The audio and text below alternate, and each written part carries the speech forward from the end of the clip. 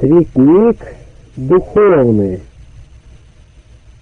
Назидательные мысли и добрые советы, выбранные из творений мужей мудрых и святых.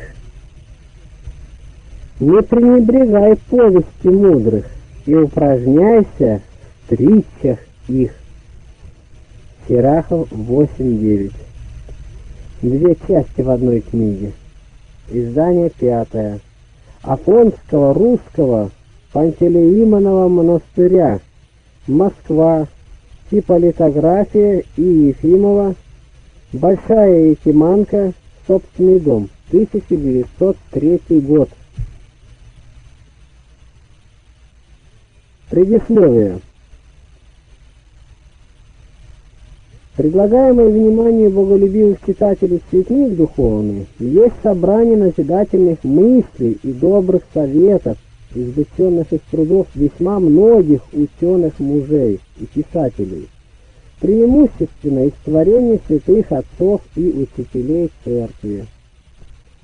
Между авторами выписок в цветнике читатель в его части встретит имена духовных богомудрых витий, святого Иоанна Златоустова, святого Василия Великого, святого Григория Богослова, святого Исаака Ефрема Спирина, святого Нила Синаевского, святого Антония и Пимена Великих, святого Марка Подвижника, святого Исаия Отцельника, святого Исидора Тависиота, святого Дмитрия Ростовского, святого Тихона Задонского, Климента Александрийского, блаженного Августина, Филарета митрополита Московского, Иннокентия архиепископа Херсонского, Филарета архиепископа Черниговского, Иакова архиепископа Нижегородского, Игнатия епископа Кавказского, Феофана епископа Владимирского и многих-многих других отцов и учителей веры и благочестия.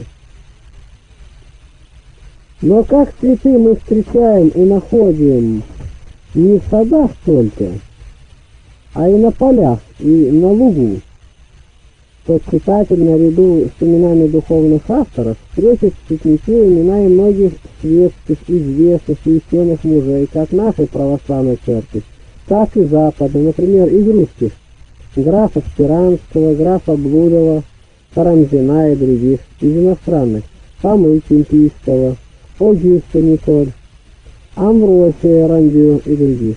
Имена даже таких ученых, как Жан-Жак Руссо и других, и даже некоторых языческих писателей, например, Сократа, Цицерона, Марка, Аврелия и других. Отзывы которых защиту веры и религии, а также и правила нравственной жизни, не должны через это терпеть для нас терять своего значения и назидания. Цветы, найденные в сердцании, в расселенных и исцелиях гор, имеют для нас интересы к тему, так и цветы, растущие в садах, пусть и лишены они свежести, красоты и величия последних.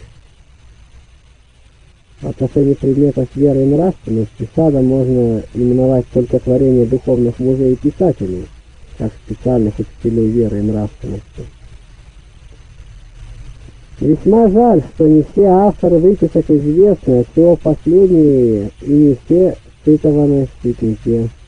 Очень много книг очень много журнальных статей, особенно в журналах «Воскресное чтение», «Христианское чтение», за прежние годы их издания, откуда извлеклись выписки, без означения авторства печатались.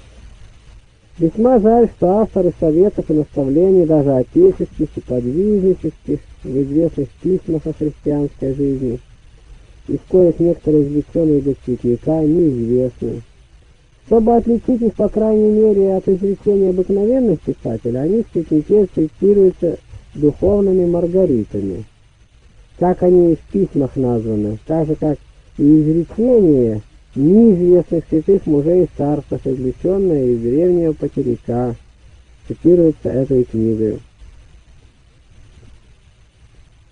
Выписки в цветнике духовном расположены по предметам, связи и порядке одна за другой, насколько это возможно было сделать, потому что это зависело от количества и рода выписок. От того же обстоятельства зависело, что некоторые предметы раскрыты выписками почти со всех сторон и вполне, а иные не полно и скудно. Впрочем, составитель цветника надеется, что его труд, как собрание мыслей и изречений, большую часть которых справедливо можно назвать перлами и бисером многоценным из духовной сокровищницы богоносных отцов и учителей церкви, не бесполезен будет для читателей, в особенности для не имеющих времени и возможности к обширному и серьезному чтению. Ныне предлагаемое пятое издание отличается от предыдущих тем, что две прежние части слиты в одну книгу. Нам приятно здесь прибавить, что цветник духовный встретил одобрение даже такого строгого судьи, каким был преосвященный епископ Порфириус Пенский. Он дал о цветнике такой отзыв. Книга народная и душеспасительная. Умудрится тот, кто прочтет ее со вниманием, и сложит глаголы ее в своей памяти. Дай Бог, чтобы эта благая доля явилась уделом каждого читателя настоящего издания. Цветник духовный. Часть первая. о Боге самом в себе и по отношению к тварям, преимущественно к человеку. На всем видимом написано свидетельство о невидимом. Римлянам 1.20. Небо, земля, море, словом, весь этот мир есть великая и преславная книга Божия, которая открывается самым безмолвием, проповедуемым Богом святой Григорий Богослов. Один философ спросил святого Антония, который не умел ни читать, ни писать, какой книге подчеркнул ты сведения о высоких истинах, проповедуемых тобой? Святой Антоний, не говоря ни слова, одной рукой указал на небо, а другой на землю. Зрение бесчисленных чудес, видимых на небе и на земле, есть книга, которую каждый читать может, которая днем и ночью проповедует величие Божие людям, самым ограниченным в понятиях. Пойдите как-нибудь по узкой тропинке в полю, усеянному пшеницей, рассмотрите колосья. Видите эту легкую кожицу, пливу, которая их обвивает, длинные ости, которые их защищают, это для того, чтобы сберечь их от губительного влияния солнца. Видите эти зеленые листочки, распространяющиеся около картофеля? Это для того, чтобы сохранить сырость, нужную для его совершенного утолщения. Видите ядро под скорлупой, которое его защищает? Кто так охраняет эти колосья? Кто закрывает это зерно? Кто устроил ресницы над глазом человека для защищения его от солнечного блеска? Не Бог ли, бытие разумное? Можно ли в присутствии таких доказательств отрицать его предусмотрительность и благость? Каждая тварь выражает собой мысль Божию, а мысль Божия совершенно, полна, Следовательно, и каждая из тварей по своему роду и виду заключает в себе все совершенство и всю полноту. Правда, мы называем некоторых из тварей гадкими. Это так, по привычке. Но это очень глупо. Вникни, рассмотри организм этих, по-видимому, гадких тварей, и ты удивишься чудному их устройству даже, можно сказать, чем ничтожнее, чем едва заметнее для глаз наших что-либо из рода присмыкающихся, или насекомых, тем более оно имеет в себе совершенство. Мы мало знаем природу, от того так поверхностно и судим об ней. Нет, когда говорится «Дивен ты, Господи, дивны дела твои», так это потому именно сказано, что всякая тварь в своем роде совершенно, что каждая из них находится в тесной связи с прочими тварями и создана для известной необходимой цели. В образовании червя и мошки видно несравненно более искусства, нежели в лучших произведениях ума человеческого. Многие сооружают великолепные здания, изобретают удивительные машины, строят огромные корабли. Но сильнейшие и остроумнейшие из них могут ли образовать ползучее насекомое, летающую птичку, зеленеющую травку или даже составить одну песчинку? Воистину, велик Бог, и един Он велик, и в великом, и в малом земли. При видимых, осязаемых, так сказать, доказательствах бытия Божия в окружающей нас природе, возможно ли довольно удивиться безумию атеистов, отвергающих бытие Божие, или материалистов, которые готовых выше самую природу боготворить, чем признать и почти действительного ее виновника, Творца и Хозяина. Отрицание Бога заключает в себе вполне нелепое предположение – оно, строго говоря, есть и что иное, как необычайное самообольщение. Прежде чем кто-нибудь может сказать «мир без Бога», он должен узнать весь мир, он должен исследовать Вселенную со всеми ее солнцами и звездами, историю всех времен, пройти всю область пространства и времени, чтобы мог со всей основательностью сказать «нигде я не открыл следов Бога» чтобы можно было с решительностью сказать «не существует никакого Бога», нужно быть всеведущим и всемогущим, то есть нужно быть самому Богом. Если возможно, то мнение материалистов, будто какие-нибудь твердые и неразделимые тела, увлекаемые неизвестной силой и тяжестью, стремились вниз и случайным столкновением их произведен этот благоустроенный прекрасный мир. А почему не допустить и того, что стоит только высыпать на землю бесчисленное множество отлитых из золота букв латинской азбуки, и из них составятся летописи Энния? Но не знаю, может ли случай таким образом сложить хотя один стих Цицерон. Если столкновение атомов, по мнению материалистов, могло произвести целый мир, то почему же не может составить оно одного храма, или дома, или города, что было бы гораздо простее и легче? Он же христианин. Если звездам служащие научились звездою кланяться единому истинному Богу, Матфея 2.1, то тем более поклоняйся ему ты, когда смотришь на солнце, луну и звезды. Если бы царская царица по прибытии в своем столице Иудеи, занявшись осматриванием драгоценных редкостей, не обратила внимания на Соломона, царя, украшенного мудростью, то как неизвинительно было бы ее равнодушие. Тем более недостойно извинения человек, живущий в этом мире и занимающийся всеми предметами, кроме Бога, источника всякого блага и премудрости. Хороши создания и хороши весьма, но несравненно лучший Создатель, который их хорошими сотворил. Если будешь, согласно Писанию, содержать в уме, что по всей земле судьбы Господни – то всякий случай будет для тебя учителем богопознания. Все мы веруем, что Бог силен, и веруем, что для Него все возможно.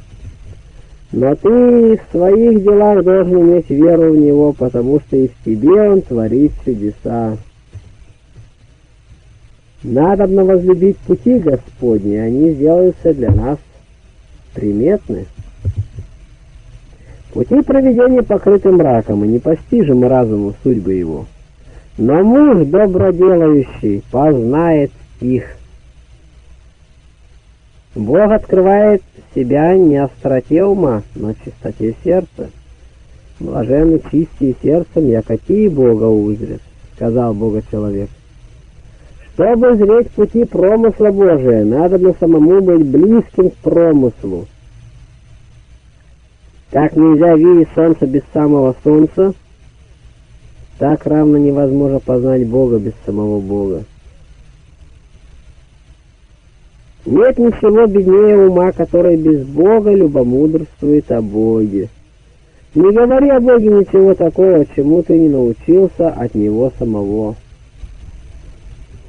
Весьма опасно говорить о Боге, что сам вздумаешь, как бы то ни представлялось истинным. Истинное слово о Боге есть только Слово Божие. Стремясь снискать высокое ведение о Боге, человек непременно должен ходить во свете Его откровения – то по мечтам своего воображения не составлять о верховном существе понятий, недостойных его величия и святости, не подвергнуться зато строгому осуждению, какое сам Бог изрек грешнику. «Вознепщевай неси беззаконие, яко буду тебе подобен». Псалом 49, 21. «И ты подумал, что я такой же, как ты». Небезопасно плавать в одежде, небезопасно и касаться богословия тому, кто имеет какую-нибудь страсть. Святой Иоанн Вестичный. Если Моисею запрещено было подходить к горящей купине, не снявши прежде сапогов, то как можешь ты приблизиться к Богу, не освободившись предварительно от чувственных привязанностей? Кто не имеет смирения с глубоким самоуничижением – тот не может рассуждать о величии Божьем.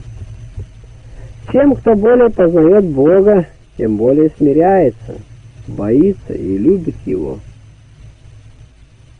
Того, что есть Бог, не могут знать не только пророки и апостолы, самим Богом просвещенные люди, но даже ангелы и архангелы, существа самые приближенные к Богу как никто никогда не вдыхал в себя всего воздуха. Так ни ум не вмещал совершенно, ни голос не обнимал Божией сущности. Шуберт расскажет, что одна девушка впала в падучую болезнь от упрямого желания своего открытыми глазами смотреть на полуденное солнце.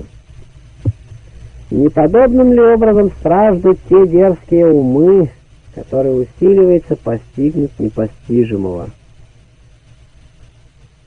Каким умом человек постигнет Бога, когда он еще не понимает самого ума, которым хочет постигнуть? Если то, что Бог есть, существует, принимается верою, а не постигается разумом, то возможно ли постигнуть разумом то, что он есть? Слово о Боге чем совершеннее, тем непостижимее. Григорий.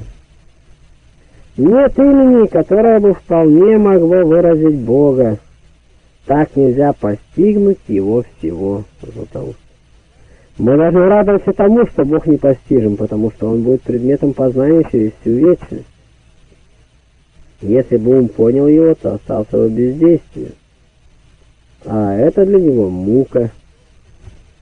Не столько вдавайся в глубокие исследования о Боге, сколько старайся подражать Ему, богослов. Самое простое доказательство пищи во всех живых существах есть голод. Так, самое сильное доказательство бытия Божия есть стремление всех добрых сердец к Богу. Бог есть центр наш, и вне его мы так же мало спокойны, как рыбы вне воды, и как вывихнутый член вне своего места. Наш дух от Бога и в Боге только может найти для себя успокоение и блаженство. Телу дает жизнь душа, душе Бог. Следовательно, истинно живет только та душа, в которой по благодати духовно обитает Бог. Как тело, разлучаясь с душой, умирает, так и душа умирает вне общения с Богом, блаженный Августин. Посмотрите на растение, именуемое подсолнечником. Что такое влечет его к солнцу? Так что оно всегда преклоняется на ту сторону, где солнце. Солнце — жизнь растения. Когда же подсолнечник не обращается к солнцу, то это знак, что корень его подточен червем и растение засохло. Посмотрите на пылающий огонь. От чего он все стремится кверху? От того, что его стихия выше земли. Когда же огонь не стремится кверху, это знак, что он не имеет пищи и угасает. Так и у христианина тот огонь любви божественной, о котором говорит Иисус Христос, Лука 12:49, и который всегда должен стремиться в нем и его устремлять выше всего земного к Богу, есть истинный признак жизни духовной. А где этот огонь угас, там и нет всей жизни. Бог – вот первое и последнее благо нашей души. Что это значит? Что никакая земная вещь, ни честь, ни богатство, ни таланты, ни знания не удовлетворяют нашему сердцу. Что значит, что мы среди земного счастья скучаем и чувствуем пустоту души нашей? Это выразительный голос сердца, говорящий, «Человек, не ищи удовлетворительных благ на земле, все ее доли суеты и тления. Твое блаженство в едином Боге. К Нему обращай все твои желания, в Нем ищи постоянного наслаждения и успокоения. А чего скучают иные? От того, что не напали на предмет, который занимал бы их всесторонне и насыщал вполне.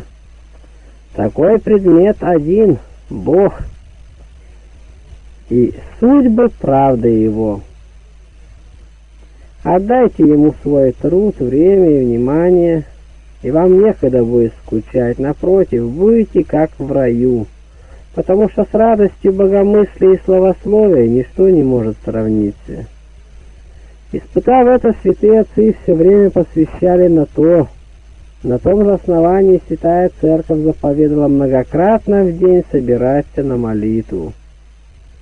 Нет ничего более великого, как человек с Богом, и нет ничего более ничтожного, как человек без Бога. Ты уголь, человек, Бог пламень твой и свет — Истинная и совершенная радость бывает только у тех людей, в которых Бог обитает. Кто имеет в себе Бога, тот все имеет, хотя бы всего в свете лишился. С Богом жить и в несчастье есть счастье. С Богом быть на всяком месте, дом и отечество есть. Без Бога же и дом и отечество есть ссылка и плен. Тихон Задонский. С Богом в бедах и страданиях и в самом аде добро. Хорошо. Без Бога и самый рай и небо есть ничто. С Господом везде рай, без Него всюду ад и безотрадное крушение духа. С Богом быть и в аде рай — без Бога выйти в небе мучения. Святой Тихон Задонский. «О вы, рассказывающие мне об утехах рая», — говорил один философ, — «не рая ищу я, но того, кто создал рай. Ищи Бога, но не ищи, где обитает Он. Ищи того везде, который везде есть. Бог везде, Он и на высоте небес, и в глубине нашей души. Вознеситесь на самую дальнюю высоту, убежите в самые отдаленные места, снизойдите в самые глубокие недра земли. Сокройтесь в самом непроницаемом мраке. Везде вы будете пред очами Бога. Куда пойду от духа твоего и от лица твоего, куда убегу? Бог есть круг, Твоего средоточия везде, а окружие нигде. Бог все наполняет и вне всего существует. Во всяком месте находится Бог, но ни в одном не заключается Кирилл Иерусалимский. Бог весь везде, весь во всем, равно в великом и малом, и весь выше всего Иоанн Дамаскин. До Бога ни низко, ни высоко, ни близко, ни далеко, потому что Он везде сущ, и потому ближе к тебе, нежели твоя душа к твоему телу. Только умей найти эту близость верою и молитвою. Близок Господь ко всем призывающим Его в истине. Бог всегда близок к человеку по своему вездесущую. А человек не всегда близок к Богу по своей ограниченности, невниманию, рассеянности. О, душе моя! Бог всегда с тобою, а ты живешь, как бы Он был весьма далек от тебя. От нас зависит быть далеко от Бога, а Он всегда находится близко. Быть близко или далеко от Бога зависит от самого человека, потому что Бог везде, Златоуст. Если к человеку доброму не может быть близок тот, кто отличается от него своими нравами, Премудрость 2.15, то тем более к Богу. Бог приближается к нам, когда мы к Нему приближаемся. Если кто откроет двери, говорит он, то войду к Нему. Для того, чтобы с нами был Бог, надо, чтобы мы были с Ним. Будь всегда с Богом, если хочешь, чтобы Бог был с тобою. Ищи Бога мысли на небесах, любовью в сердце, благоговением в храме. Везде ищи Его, делами для Него предприемлемыми и совершаемыми. Филарет Московский. Ищи того везде, который везде есть, и оставивший все. Его единого ищи и непременно найдешь. Бог везде присутствует, а ты предстоишь пред взором Его. Надо быть твердо убежденным, что очи Господа бесконечное светлейшее солнце, смотрит неуклонно на сынов человеческих, и ничто не появляется от них ни мысль, ни мечта, ни сердечное какое бы то ни было ощущение. От всевидящего ока Божия не укроются не только явные, но или видимые людьми, но и тайные дела наши. И не только дела, но и самое помышление наше. Представьте себе самую темную ночь, самый черный мрамор и самого черного муравья. Бог в такую беззвездную ночь на таком мраморе не только видит этого муравья, но и слышит топот ног его. Арабский мудрец. Во всяком деле, которое делаешь, содержи в уме, что Бог видит всякий помысл твой, и никогда не согрешишь. Ава Исайя. Если будешь всегда помнить, что Бог есть зритель всего того, что ты не делаешь душой и телом, то ни в каком деле не погрешишь. Если ты стыдишься подобных тебе грешников, чтобы не видели тебя грешащим, сколько более ты должен страшиться Бога, который совершенно зрит сокровенные тайны сердца твоего. Ава Исайя. Если хочешь все дела твои хорошо делать, то представляй себе, что Бог на тебя смотрит. Если в присутствии царя мы не позволим себе никакой небрежности, а тем более неприличия, но стараемся, чтобы всякое наше слово, всякое движение было ему благоугодно, то тем более представляющий себя в присутствии Божием – не позволит себе никакого греха, поревнует о святом деле, благоугодном Богу. Как легко человеку назвать по имени предметы существующее, так Богу легко было привести в бытие несуществующее. Для Бога легче возжечь новое солнце на небе, нежели нам с тобой засветить свечу. Для Бога ничего нет невозможного, кроме того, чего Он не хочет. Чего Бог хочет, то может, но не всего хочет, что может Тертулян. Все бессильно там, где Бог являет силу свою. У Бога возможно невозможное и по нашим соображениям. У Бога и вода попаляет, и огонь орошает. Бог самых врагов своих употребляет в орудие своей славы. Тот, который из ничего все сотворил, может и из тьмы свет, и из злого доброе сотворить. Где способа спасения нет, там Бог способ находит. Где нам невозможно, там Богу все возможно. Бог может нам и из безвыходных обстоятельств доставить выход. Промысел Божий являет свои силы там, где человек иногда видит одни немощи. Бог там-то и являет силу свою, где оскудевает сила человеческая. Сила Божия не нуждается в силе человеческой. А часть человеческой помощи обратись к Богу, и получишь ее так и там, где никак не ожидал и не воображал. У кого просить помощи и милости, как не у всесильного и всемилостивого?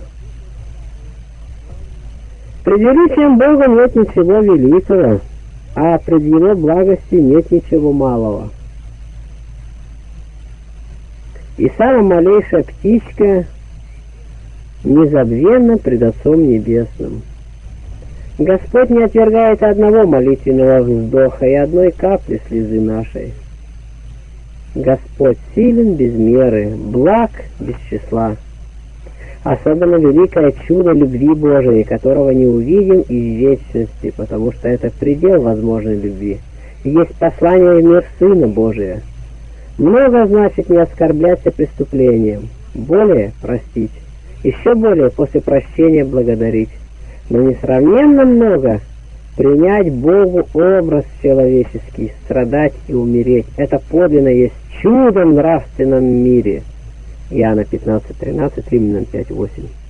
В этом одном обнаружилось сердце Божие так, что если бы забыто было учение о совершенствах Божиих, то в этом одном заключалось бы все богословие. По правосудию своему Бог за грех одного весь род человеческий предал смерти. А по милосердию своему, когда все люди были под проклятием и связаны узами греховными, за правду одного всем даровал спасение. О Боже, давший нам Сына Твоего, чего Ты нам с Ним не дарствуешь? Легче измерить пространство небес и поднебесья и глубины без морских, легче исчислить дыхание, выдыхаемое из сердца и есть вдыхаемой жизни, чем измерить и дознать величие число благодеяний Божиих. О, когда бы человек так Бога почитал, как он почтен от Бога. Человек всегда забывал Бога, но Бог никогда не забывал человека. Бог познал нас прежде, чем мы Его. Он возлюбил нас прежде, чем мы Его. Любовь Бога к человеку несравненно выше любви человека к Богу. Бог заботится о нас более, нежели сколько мы сами заботимся о себе. Мать не более заботится о дитяте на груди своей, сколько заботится о нас наш владыка и царь. Наполеон I. Бог для нас печется и о том, что принадлежит нам. Бог не спосылает нам щедрые дары свои с большим удовольствием, с большим, нежели с каким мы принимаем их, святой Григорий Богослов. Бог по беспредельной благости милосердию всегда готов все даровать человеку, но человек не всегда готов принять от него что-нибудь. Все мы имеем нужду по миру, в милости, но не все достойны милости. Потому что она, хотя и милость, ищет достойного, как сам Бог сказал. Кого помиловать, помилую, а кого пожалеть, пожалею. Бог верен своим обетованиям, но только для людей, верных своим обетам. Ни даров у Бога не достает для нас, а нас не достает для даров Его. Благодарность Богу за полученные от Него дары есть сосуд, который благодать Божия полагает новые. Ничто так не угодно Богу, как благодарность, святой Златоуст. Будь благодарен за малое, и станешь достоин получить большее. Верным малым приобретает доверенность во многом. Верный в благодарении за малый дар Божий обретает дерзновение просить великого.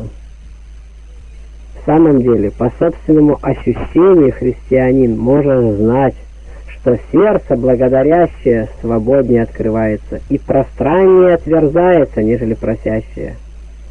Следственно, тем более оно способно к принятию благодати. Господь подает и ущедряет дары свои тому, кто приемлет их со смиренным благодарением. А от неблагодарного вземется и то, что мнится имейте. Чем больше солнечных лучей падает на цветы и другие растения, тем более спускают они благоухание к солнцу. Наше солнце Бог, будем благодарны Ему подобно цветам. Каковы мы для Бога, таков и Бог для нас. Хвали Бога и получишь сам похвалу от Него. Когда человек ограничивает свое служение Богу, тогда и Бог ограничивает свои благодеяния. Кто забывает Бога, того и Бог и забудет своей милостью. Суды Божии отличны от судов человеческих. Если бы милосердный или любвеобильный Господь способен был подчиняться страсти гнева и всякого оскорбления своего божественного величия, наказывал на месте, то давно уже вымер бы весь род человеческий. Господь по своему долготерпению и человеколюбию долго угрожает прежде, нежели поражает. Бог так долго терпел и терпит тебя, и несмотря на то, ты все не исправляешься.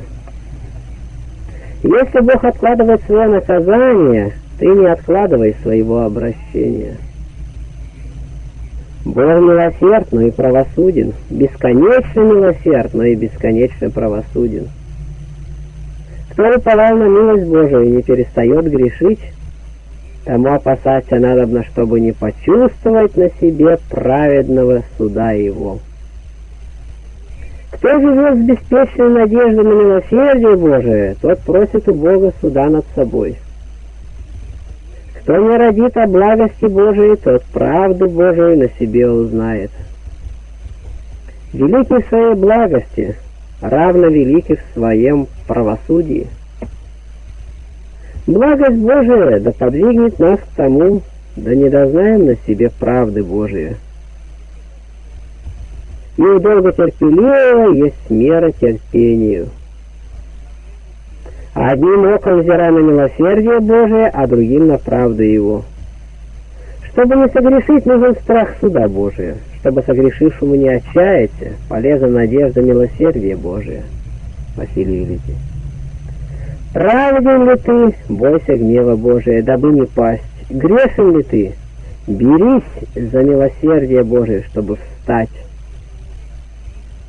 Необходимо иметь страх Божий, но такой, который бы не подавлял надежды. Необходимо питать в душе надежду, но такую, которая не исключает страха Божия. Не усиливайся проникать в тайны судеб Божиих, не держали на это и святые. Не будем жаловаться на праведный суд Божий. Мы невежды, чтобы подавать свое мнение о неизреченных судах Божиих, Василий Великий. Как малое дитя не в состоянии справедливо судить о действиях и поступках своего отца, так и мы не способны с надлежащей верностью исследовать пути премудрого промысла. Иногда то самое, что нам представляется ошибкою, на самом деле есть высшее устроение Божие.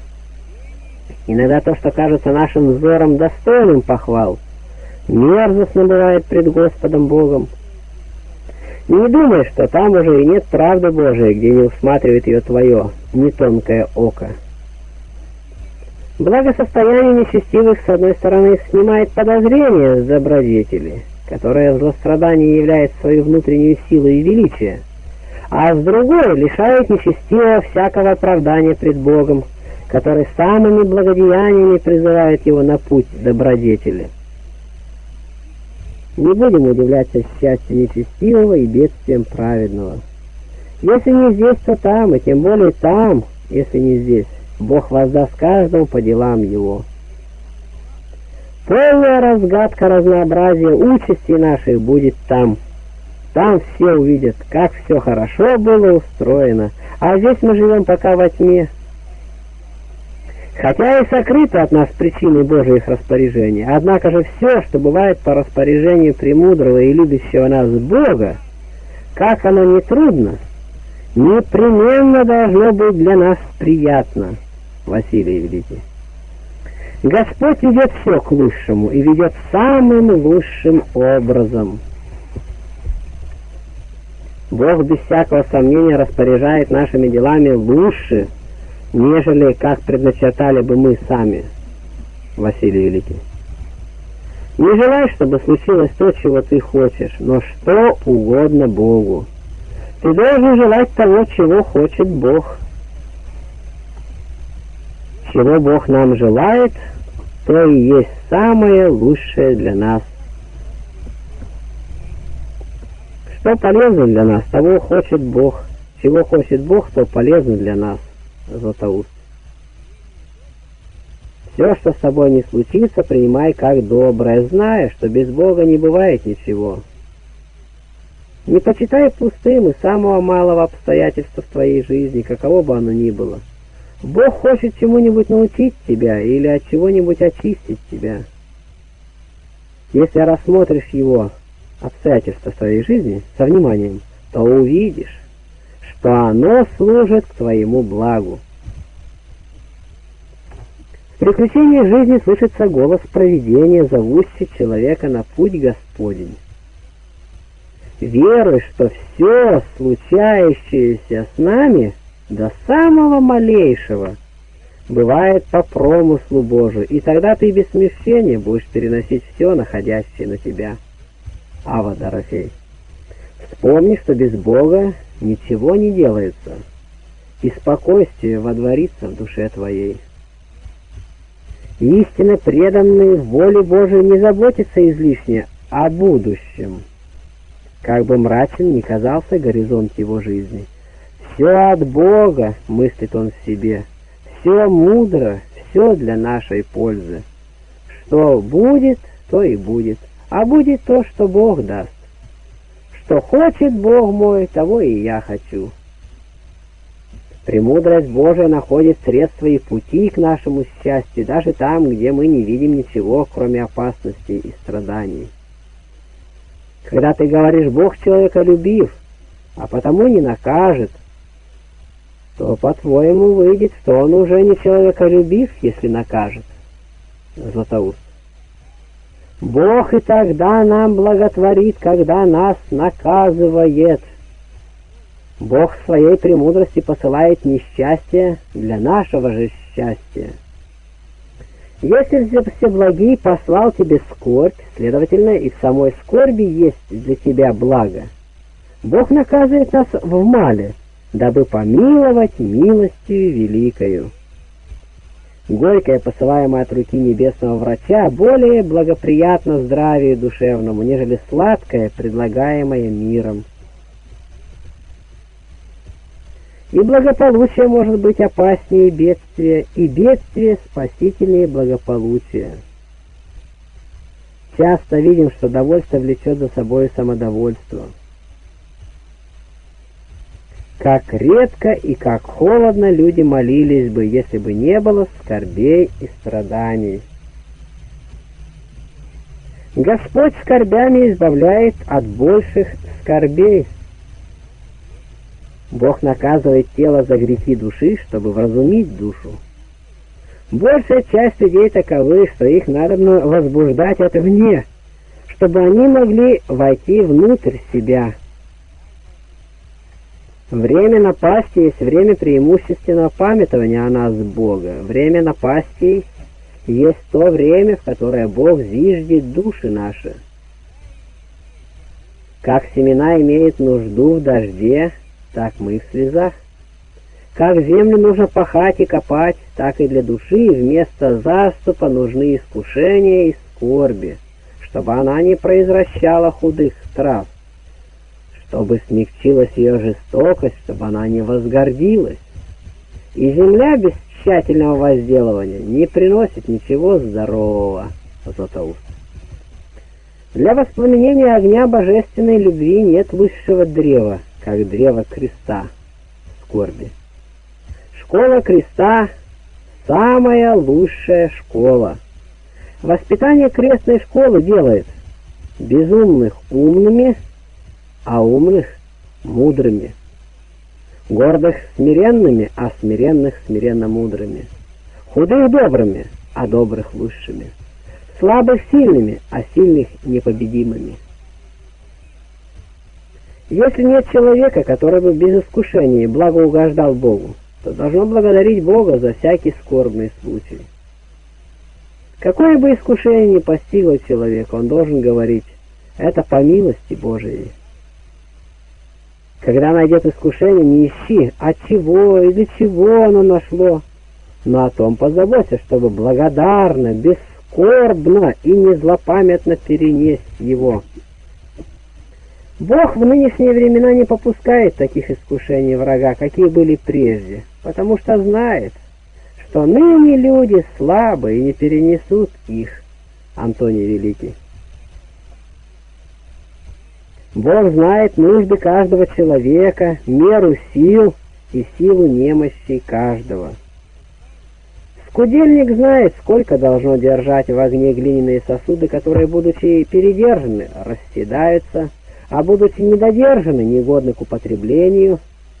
Тем более знает Бог, какой силой и степени нужен огонь искушения для словесных сосудов Божьих, христиан, чтобы они сделались способными к наследованию Царства Небесного. Бог не попускает нам ни постоянно бедствовать, чтобы мы не отчаялись, ни постоянно благоденствовать, чтобы мы не пали нравственно. Златоуст. Бог не оставляет людей навсегда ни в несчастье, чтобы они не изнемогли, ни счастье, чтобы они не сделались беспечными, но различными способами устрояет их спасение, он же. Надобно благодарить Бога, когда Он подает благо, и не выходить из терпения, когда он не ущедряет ими, Василий Великий. Пришло благополучие, благодари Бога, и благополучие твердо будет. Пришли несчастья, благодари Бога, и несчастья прекратятся, Святой Златоуст. Слава Богу за все! Не перестану говорить это всегда и во всех приключениях моей жизни. Он же. Горами ли, дебрями ли ведет меня невидимая рука провидения, только бы привела меня в мое горнее отечество. Филарет Московский. Священное Писание или Библия. Священное Писание для каждого из нас должно быть учебной книгою и первой настольной во всю жизнь. Что телесная пища для поддержания наших сил, тоже и чтение Писания для души, Святой Златоуст. Как лишенный естественного света не может идти надлежащую дорогу, так и не освещенный лучом божественных писаний принужден непрестанно погрешать во многом, потому что бродит в глубокой тьме, он же. На то, что можешь видеть, смотри своими глазами. Но в рассуждении невидимого и вечного полагайся на Слово Божие. В молитве мы беседуем с Богом. В Священном Писании Бог беседует с нами, блаженный Августин. Советую каждому купить Библию или, по крайней мере, Новый Завет. Книги эти всегда послужат вам к научению вашему, Златоуст. Вода по своему свойству мягкая, а камень тверд. Но если над камнем висит желобок, то вода, стекая каплями, мало-помалу пробивает камень. Так и Слово Божие мягко, а сердце наше грубо. Но если человек часто слушает или читает Слово Божие, то страх Божий приходит в сердце его. Авва Пимен.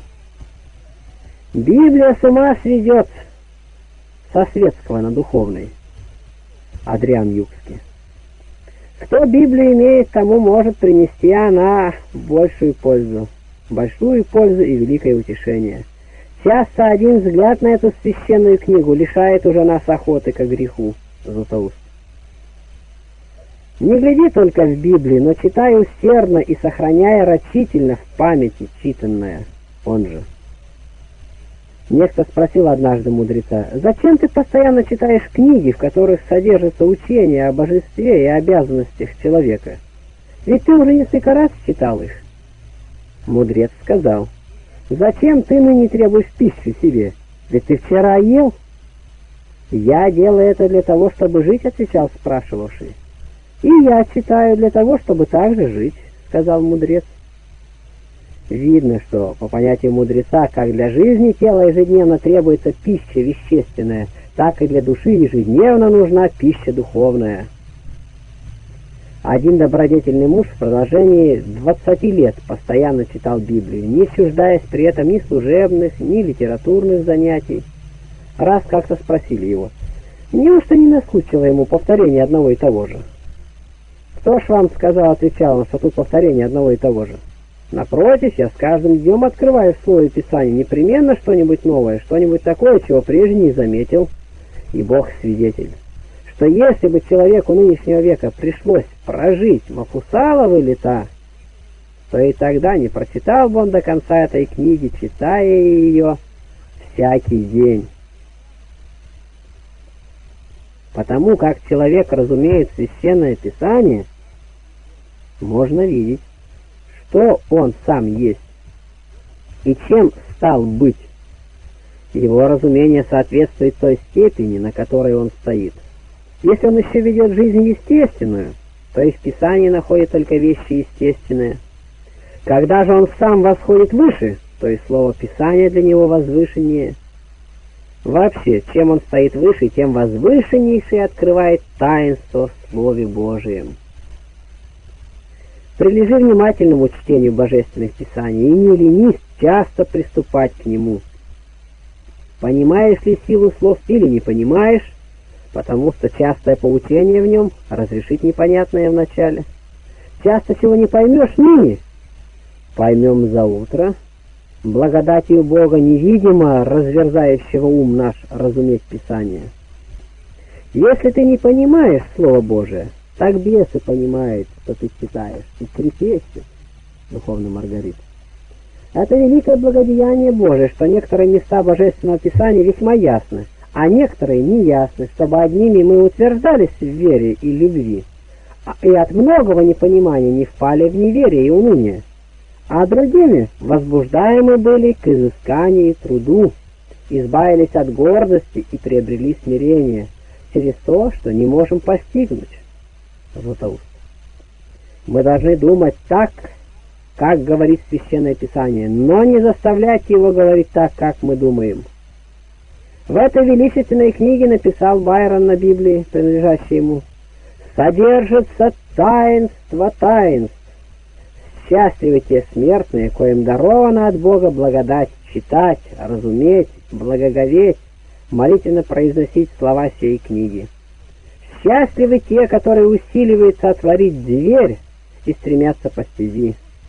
Но лучше бы не родиться тем, которые читают, чтобы сомневаться и презирать. Многие читают Священное Писание для того, чтобы быть в состоянии только говорить об нем.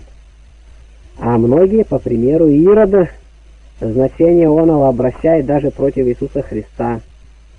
Но ты упражняйся в нем для обретания Христа – по примеру мудрецов восточных. Слово Божественного Писания читай делами, а не многослов, тщеславясь одним простым вниманием. Что сказано в Писании, сказано не для того, чтобы мы знали только, но чтобы исполняли. Садясь за чтение Божественного Писания, прежде призови Господа, да отверзит очи сердца твоего, чтобы не только уразуметь написанное, но исполнить то, потому что читающий и не творящий есть презритель Божественного Писания. Слышанное Божие Слово из уст проповедника или из Писаний прочитанное в больший вред обращается тому, кто слышит и не исправляется от него. Недостаток в человеке не знать Писания. Но двойной недостаток имеет тот, кто знает оное и пренебрегает им. Ефрем Сирин. Старайтесь быть всегда не заботливыми слушателями Слова Христова, но творцами дела спасения. О, если бы книгами Священного Писания мы пользовались так, чтобы собственное наше сердце становилось от того книгою, исписанную Духом Божиим. Господь Иисус Христос. Иисус есть мнимый сын Тектона Иосифа, но истинный архитектона, создавшего небо и землю. Мы душа и тело, Иисус же Бог, душа и тело. Сын Божий явился на землю с душою, телом и божеством, чтобы, как Бог, избавить душу и тело от смерти.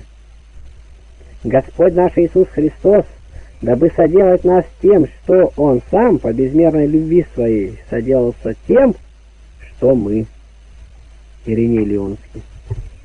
Бог Слово, равный Отцу, соделался причастным нашей смертности не по своему, а по нашему естеству. Да мы соделаемся причастниками божества Его, не нашего, а Его силою. Бог снишел до человека, чтобы человека возвести до Бога. Сын Божий сошел с неба для того, чтобы нас возвести на небо. Сын Божий сделался сыном человеческим, чтобы человеческих сынов соделать чадами Божьими. Сын Божий сделался сыном человеческим, не переставая быть сыном Божиим.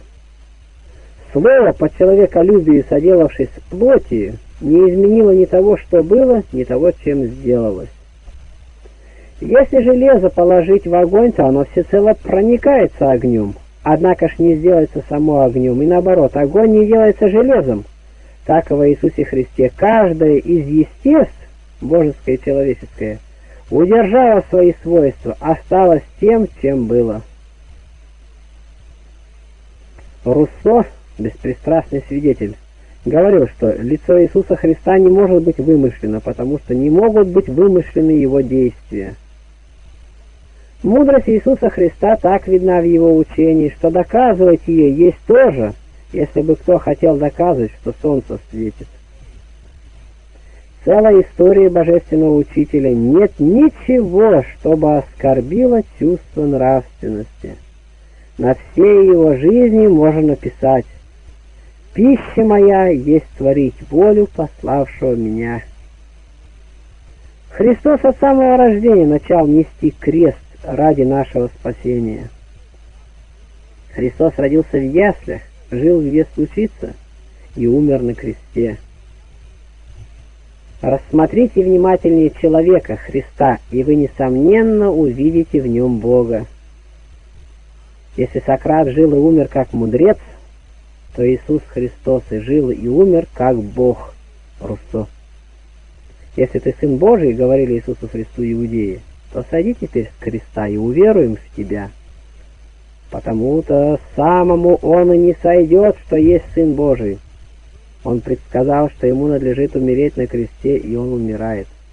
Действительно, для человека было бы что-то особое сойти со креста и спастись от смерти но одного Бога достойно, и одному только Богу возможно торжествовать на кресте, со креста привлекать к себе вселенную, остаться живым и по смерти, и даже посредством смерти даровать жизнь миру. Хочешь всякий день видеть чудо? Всякий день размышляя о воплощении и страдании Христовом. Как недальновиден ум человеческий со всей хитростью, со всем коварством страстей. Люди думали, что предавая на смерть Христа Господа, они делают только то, что хотелось страстями их. А оказалось, что самые страсти выполняли то самое, что хотела любовь небесная, любовь Сына Божия. Бог стал человеком, чтобы стать жертвою, и жертвою, чтобы соделаться Спасителем. Христос умер для того, чтобы в нас грех умер – Умри для греха скорее, без всякого отлагательства и рассуждения, иначе ты потеряешь Христа, а с ним и все. Мы смотрим на крест Христов и читаем Его страсти, а сами не переносим ни одной обиды. Природа сынов Адамовых порывается возникнуть от чувственного к духовному, подобно как иногда рыба мечется из воды в воздух. Но так же легко и скоро, как рыба в воду, погружается опять в чувственность. Только Христос благодатной силой может ее решительно возвысить, обновить, возродить и дать ей постоянное духовное направление. Когда буря начнет колебать корабль души нашей, тогда возбудим Христа молитвою, и мир водворится в душе нашей. Распятый за нас поможет нам распинать наши страсти и похоти. Иисус есть вместе врач и врачество. Христос своей смерти победил грех и своим воскресением победил смерть. Не первый день, не тотчас по смерти воскрес Господь, чтобы осветить наш путь к гробу и осветить надежды нашей могилы. Не во второй день, не в субботу, чтобы сохранить покой законной субботы, и что продолжительным пребыванием в гробе уверить всех в истине своей смерти и погребения, и тем увеличить славу воскресения. Не далее, как в третий день воскрес Господь, чтобы не оставлять доли учеников своих в тоске и смятении, чтобы скорее обрадовать их и утешить. Да и могла ли смерть долго держать в своих узах источника жизни? Христос, как воскресением своим, сокрушил двери ада и открыл верующим исход из него – так вознесением своим отверзает двери неба и открывает верующим вход в него. Любовь наша на страдание Христом, вера наша на воскресение Его, надежда на вознесение утверждается. Нешедший на землю Сын Божий не оставил своего небесного Отца, и вошедший на небо не разлучился с верующими во имя Его.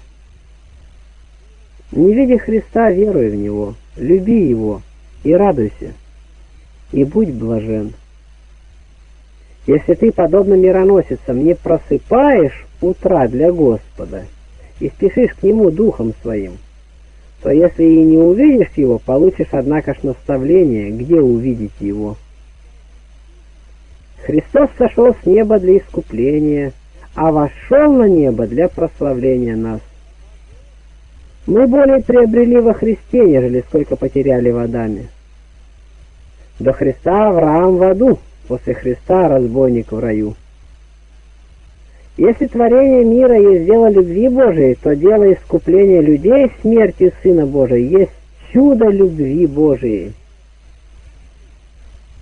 Если мы всем обязаны Богу за сделанное им благодеяние, сотворение нас, то чем же мы можем воздать Богу за содеянное им благодеяние искупления нашего – и так содеянное.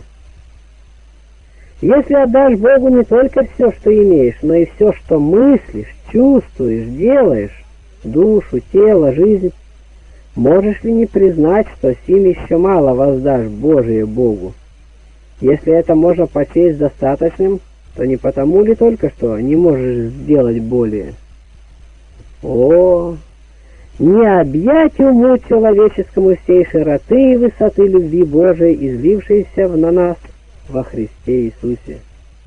Но тем страшнее быть неблагодарным перед такой любовью.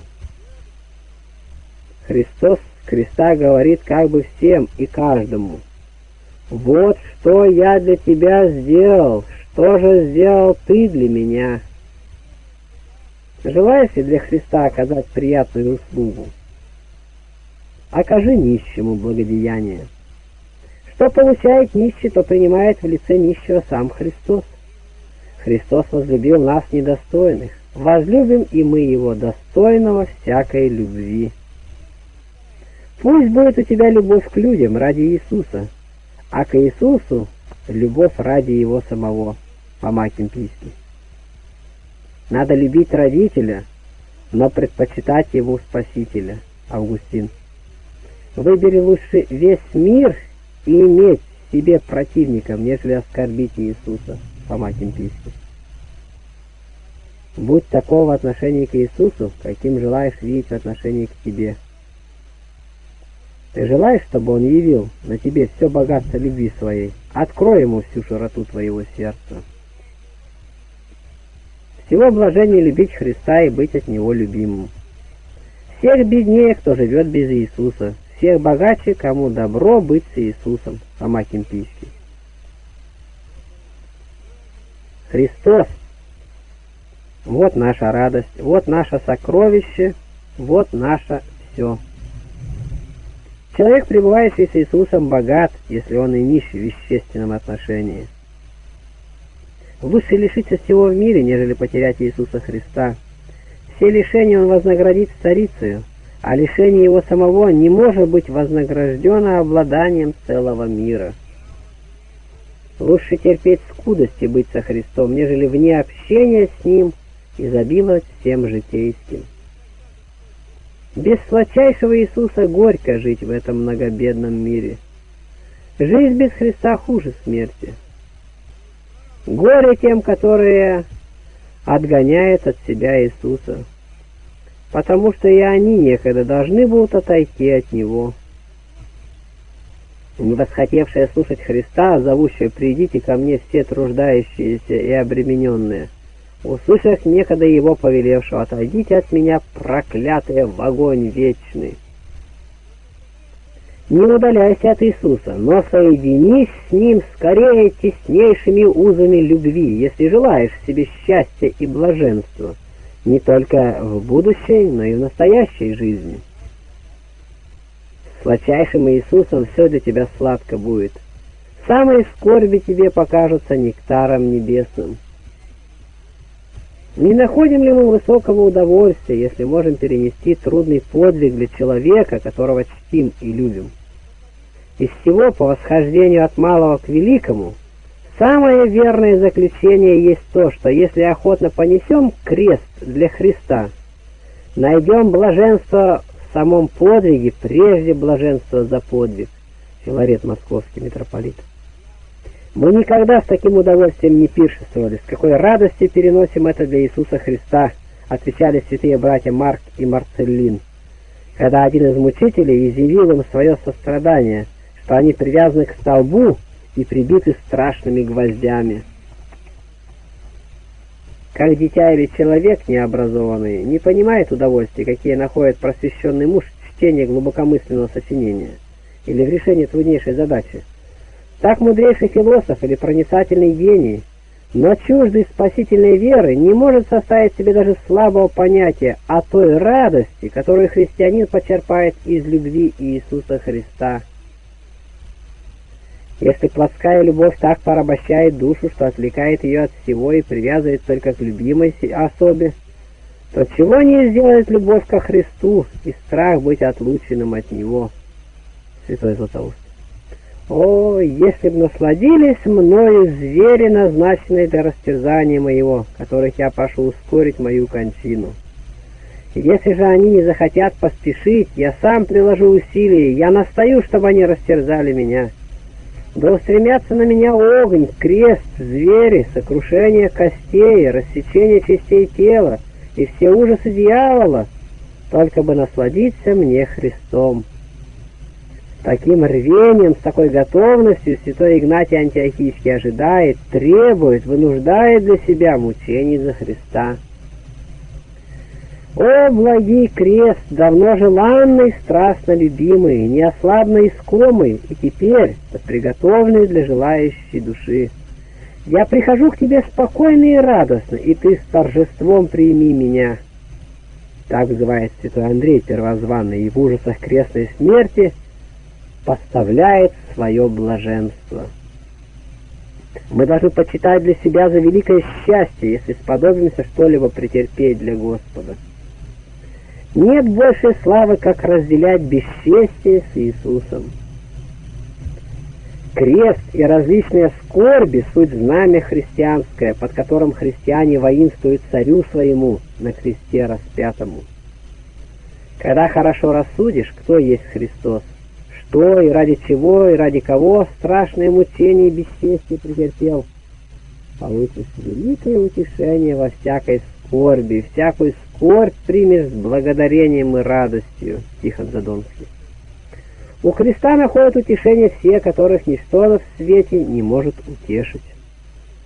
Если Христос безвинный за наши вины соизволил перенесть скорбь и тугу смертную, ты ли не покоришься перенести без сравнения меньшую скорбь, без сомнения за некие вины твои пред Богом, хотя, может быть, и безвинно перед человеками.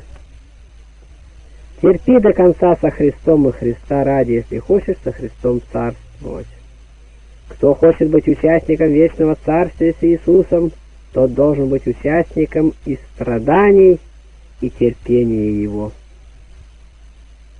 Кто хочет быть сообразным Иисусу Христу по славе, тот должен быть сообразен Ему и по жизни. Если любишь Христа, не забывай исполнять Его заповеди. Противник Христов не только тот, кто учением, но и кто и житием Слову Его противится. Тихон Задонский. Тот не есть Христов, кто не так мыслит и действует, как Христос. Во всем да будет Твоим учителем Господь Иисус Христос, на которого, взирая оком ума своего, спрашивая себя самого чаще, что в этом случае помыслил бы и сказал бы и сделал Иисус Христос? Уметь смиряться, значит уметь подражать Иисусу Христу. Василий Великий. Облеченный в смирение, Бог явился человеком, и кто из человеков облечется в смирение, соделывается богоподобным. Сделайся младенцем с Иисусом, в смысле смирения и простоты, и ты будешь возрастать с Ним в премудрости. Помни, христианин, что вертепы ясли Вифлеемские, где родился и был повид пеленами Спаситель Господь наш, должны быть гробом твоего честолюбия и властолюбия. Если Сын Божий смирил себя, то и мы должны унижать себя, тем более, что за гордость нашу смирил Он себя. Ради тебя Бог смирил себя, а ты и ради себя не смиряешься, но превозносишься и кипишься, Макарий. Христос, призываемый к царству, не удалился от него, а званый на поругание и крестную смерть добровольно согласился — Итак, человек, желающий уподобиться Христу, должен увеселяться больше поношениями, нежели славою. Помяни Христа в вертепе и в темнице, и тебя не будет прещать великолепно украшенный дом. Помяни Христа обнаженного и облекаемого в одежду поругания, и для тебя нежелательно будет изящная одежда. Помяни уксус и желчь, вкушаемые Христом, и ты не взяшешь роскошного пиршества. Помяни Христа, которого по изображению пророческому колено изнемогли от поста, Псалом 108, 24. И пост будет для тебя сладок и питателен более пиршества. Помяни Христа, пролившего свою кровь из-за тех, которые проливали ее. Помяни Его, возносившего с креста молитву из-за тех, которые вознесли Его на крест. И ты не станешь думать о мщении врагам своим, но великодушно простишь им. Поминай Господа, вошедшего со славой на небеса в сороковой день, по своему преславному восстанию из гроба и сидящего десную Отца, Помни сказанное им обещание, где я, там и слуга мой будет. И тебе иго служения Иисусу покажется благим и сладостным. Где я, говорит Христос, там и слуга мой будет. А где Христос? На небесах. Итак, переселимся туда душой и умом еще и прежде воскресения. Святой Златоуст. Четвертое. Благодать. Благодать — это Бог, ощущаемый и видимый в сердце и сердцем. Паскаль. Благодать — это есть присутствие Господа нашего внутрь нас. Самое блистательное доказательство математической истины может ли сравниться в очевидности с действиями благодати, когда сердце для нее открыто. Благодать духовной жизни человека есть то же, что дыхание в жизни телесной. Человек без дыхания мертв телом, христианин без благодати не христианин, мертв духом. Благодать для нас тоже, что солнце для земли. Она нас озаряет, согревает и оживляет. Как глаз самый здоровый не может видеть, если не озаряется никаким лучом света, так и человек, как бы он ни был, по-видимому, честен, не в состоянии без благодати Божией проводить добродетельной жизни. Блаженный Августин. Те из христиан, которые желают быть добродетельными и не стараются о стяжании благодати Святого Духа, находятся в величайшем заблуждении. Они сеют на камне, пашут на воде, хотят летать без крыльев, дышать без воздуха. Что для корабля опытный кормчий, то Дух Святой для людей в продолжении их плавания по океану духовной жизни, исполненного опасностей. Как разнощенный корабль влается сюда и туда по произволу бури, так и душа, лишенная благодати Божией, постоянно находится под управлением греха, который влечет ее не туда, куда она хочет, а туда, куда направляет ее демон, Зутаус говорит. В христианстве все благодати и ничего без благодати. Допечется же каждый из нас обрести для себя благодать. Спасительная благодать Божия сама по себе – но не спасает нас без нас. Благодать Божия хотящих спасает, а не нехотящих. Сотворивший нас без нас, определил спасти нас не без нашей воли. Бог не делает насилие нехотящим, но влечет только желающих. Бог действует не так, чтобы люди нехотя веровали, что невозможно, а так, чтобы из нехотящих они стали хотящими веровать. Земля ничего не производит без дождя и без земли. Без земли дождь бесполезен. Точно так же и благодать не действует без содействия самого человека, ни воля человека без содействия благодати. Златоуст. Божественные благодати человеческие усилия должны действовать вместе. Поле приносит плоды только тогда, когда Бог благословляет, а мы трудимся. Бог не трудится за нас, а только помогает нам. Благодать не уничтожает затруднений, но помогает их преодолевать. Начнем только, и Бог с нами начнет дело нашего спасения. Бог Господь простирает тебе свою руку, дай ему свою, Златоуст. Как родник, непрестанно источающий чистые ручьи и обильные потоки, никогда не воспрещает желающему в обилии наслаждаться даром чистых вод, так и божественная благодать отверста всем, чтобы каждый наслаждался сколько хочет. Ефрем Сирин. Молитва есть простертая рука для принятия благодати Божией. Солнце не проникает своим светом в цветок, если его чашечка закрыта. Так и благодать не озаряет души, если она не раскрывается в молитве. Мы только можем быть далеки от Духа Божия, а Дух Божий не может быть далеко от нас. Как магнит привлекает не все, к чему приближается, а одно только железо, так и Бог ко всем приближается, но привлекает только тех, которые способны и обнаруживать некоторое родство с Ним в смысле согласия своей воли и сочувствия Богу, желающему всем спасения.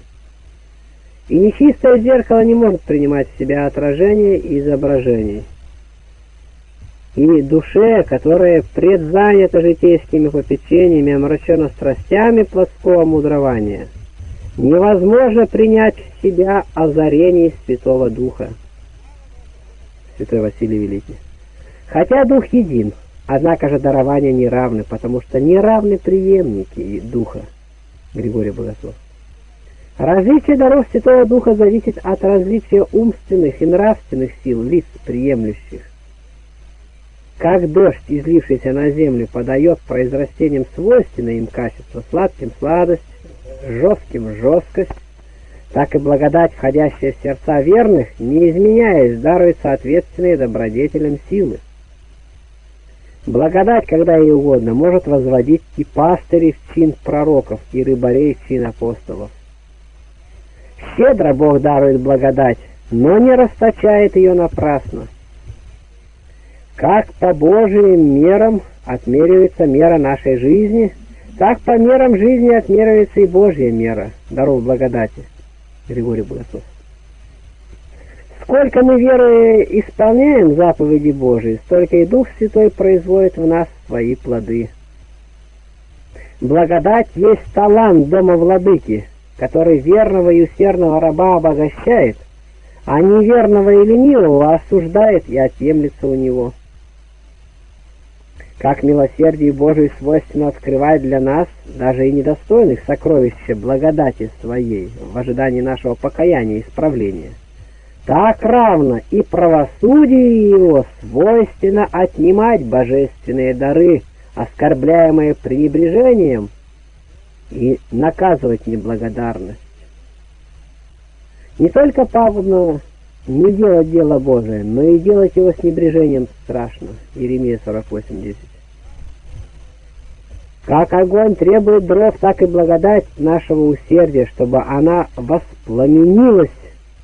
Златоуст.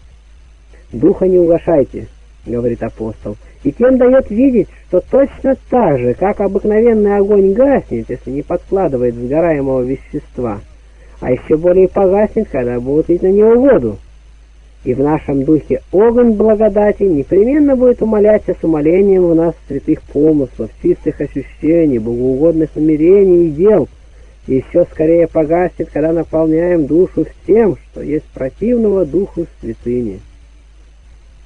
Благодать, как скоро усмотрит, что в помысле человека начало появляется несколько самомнения, и стал он высоко о себе думать, тотчас попускает, чтобы усилились и укрепились против него искушения, пока познает свою немощь и не емлется в смирении за Бога.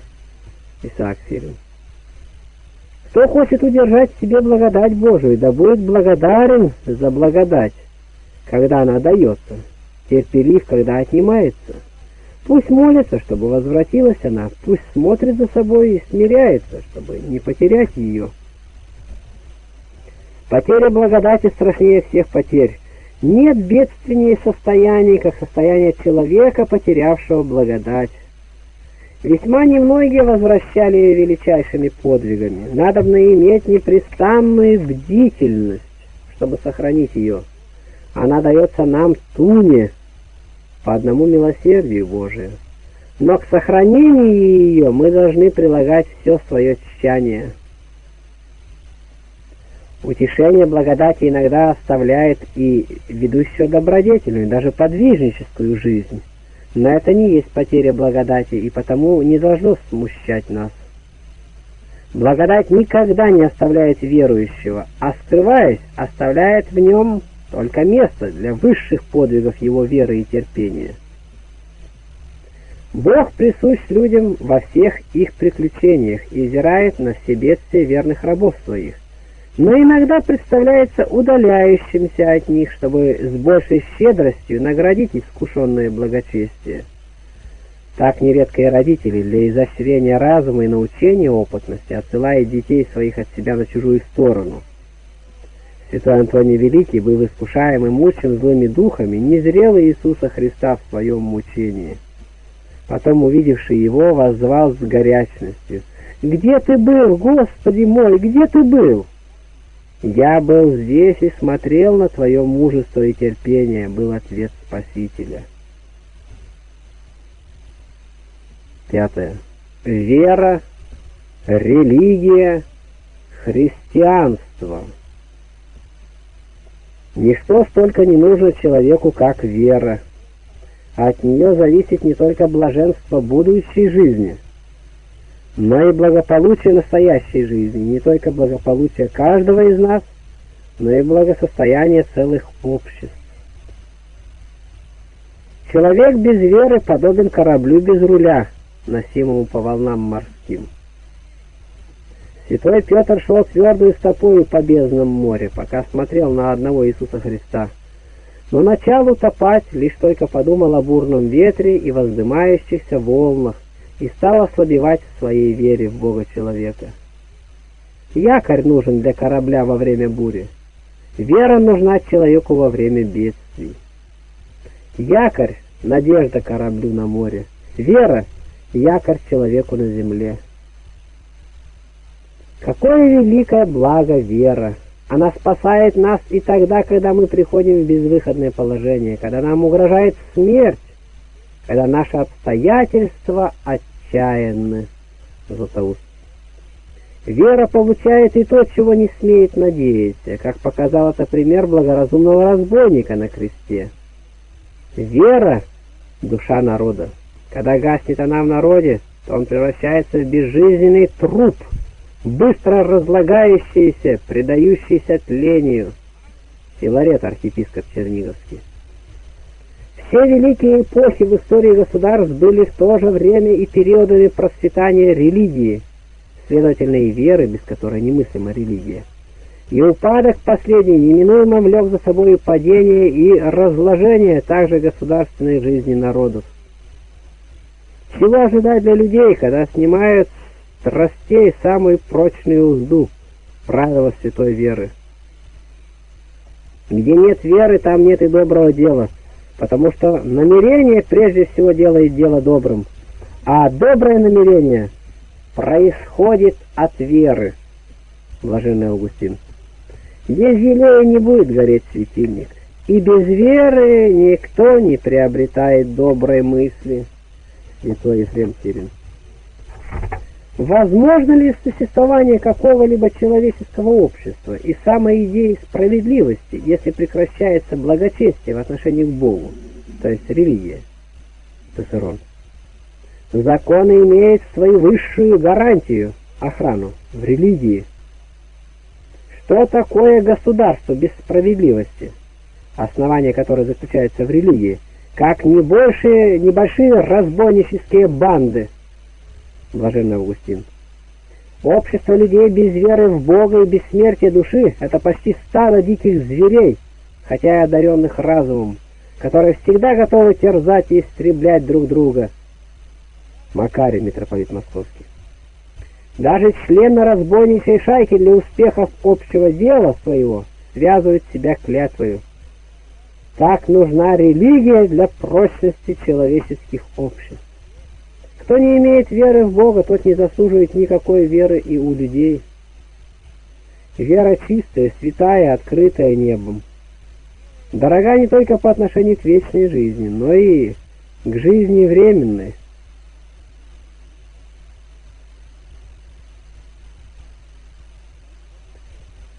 Вера чистая, святая, открытая небом. Дорога не только по отношению к вечной жизни, но и к жизни временной. Что имеет еще человек, если он не имеет веры ни в Бога, ни в бессмертие души? Ничего. Решительно ничего. Религия есть материнская лона, из которого вышла вся духовная жизнь человечества. Вся высшая культура человеческого рода есть дочь религии – Лютард. Высшая цивилизация никак не может быть внесена среду народа без соответствующей ее высшей религии.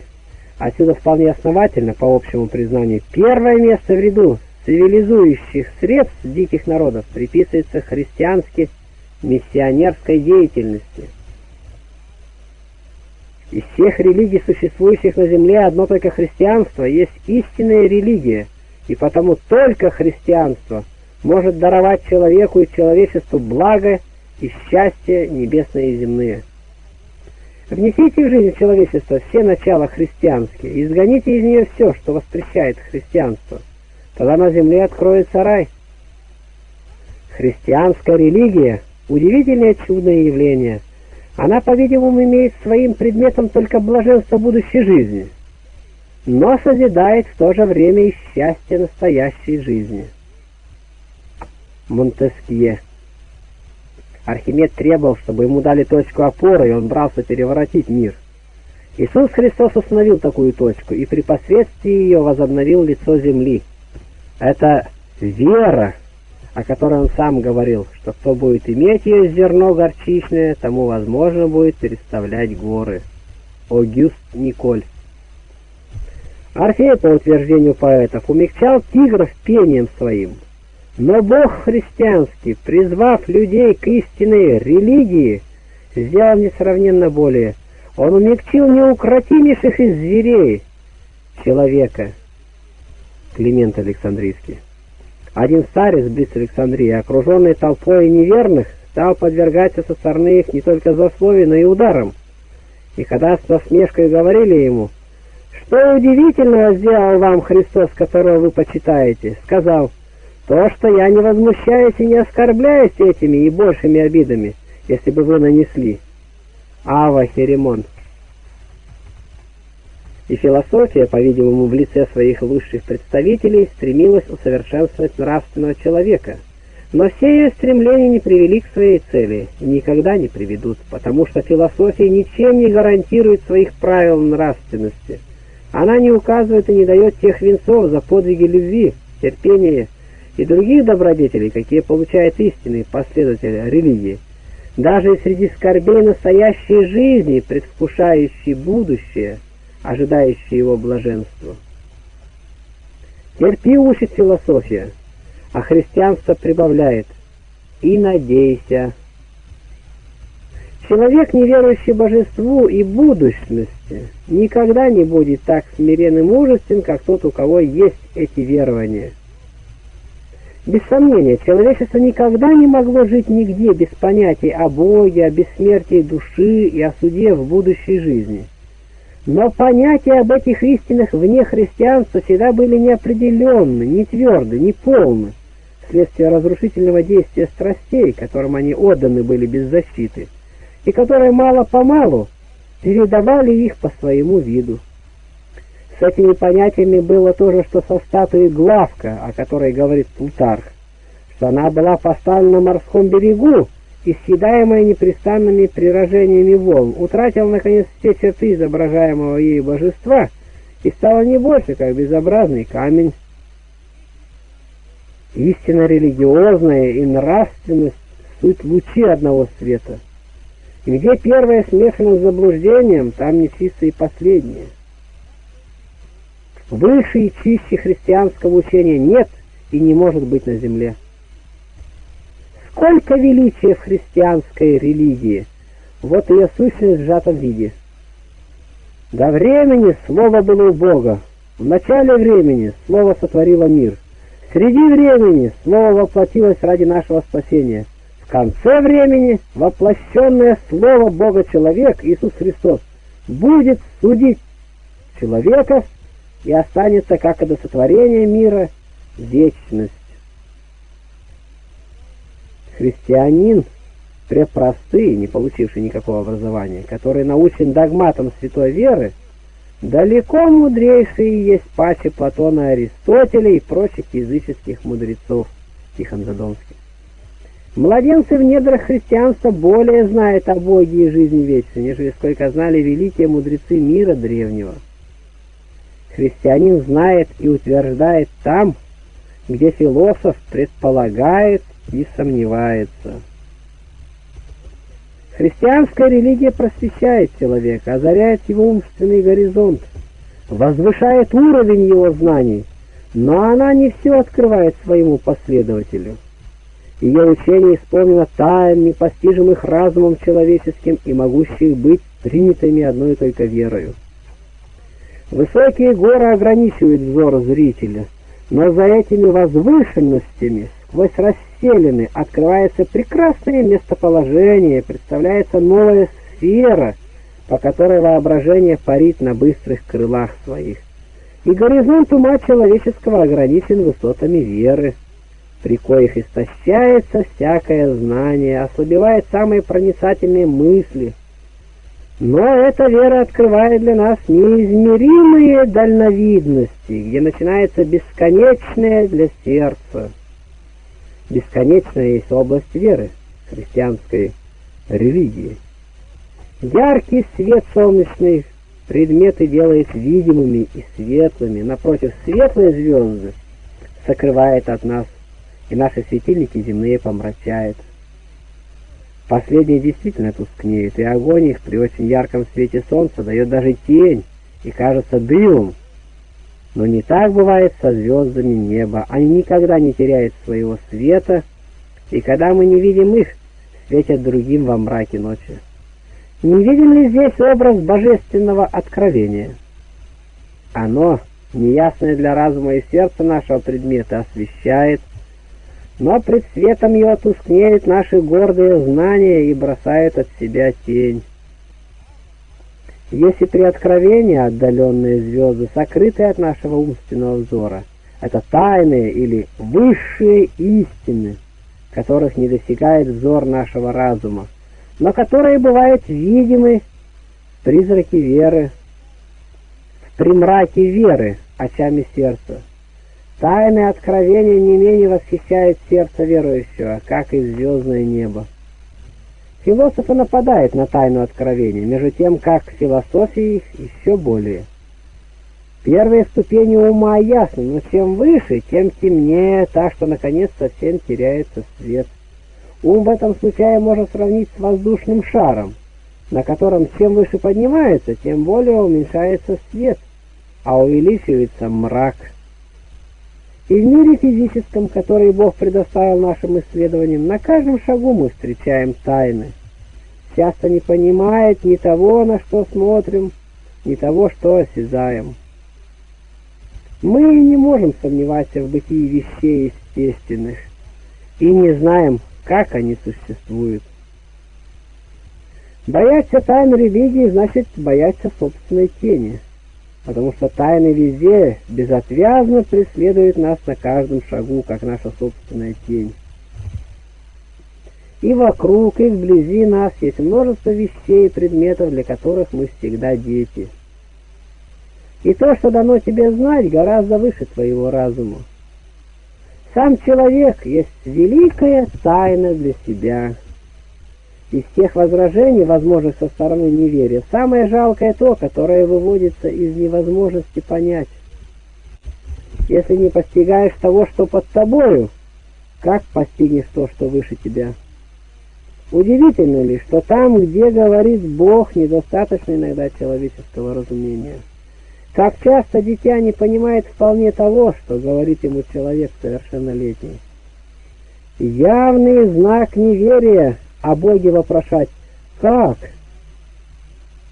Силен Бог и то сотворить, что невозможно уразуметь человеку. Таковы все чудеса, эти действия Божия всемогущества, превышающие законы природы, и потому непонятные уму человека, которыми полна история христианской религии, и которые преимущественно служат камнем притыкания для рационалистов, то есть признающих действительным и несомненным, только доступное уму, и уводимой из естественных законов. Мы смеемся теперь над язычником, который слепой верой подвергался, подвергался у подножия идола, дабы слышать истину из уст скрывавшегося в нем обманщика.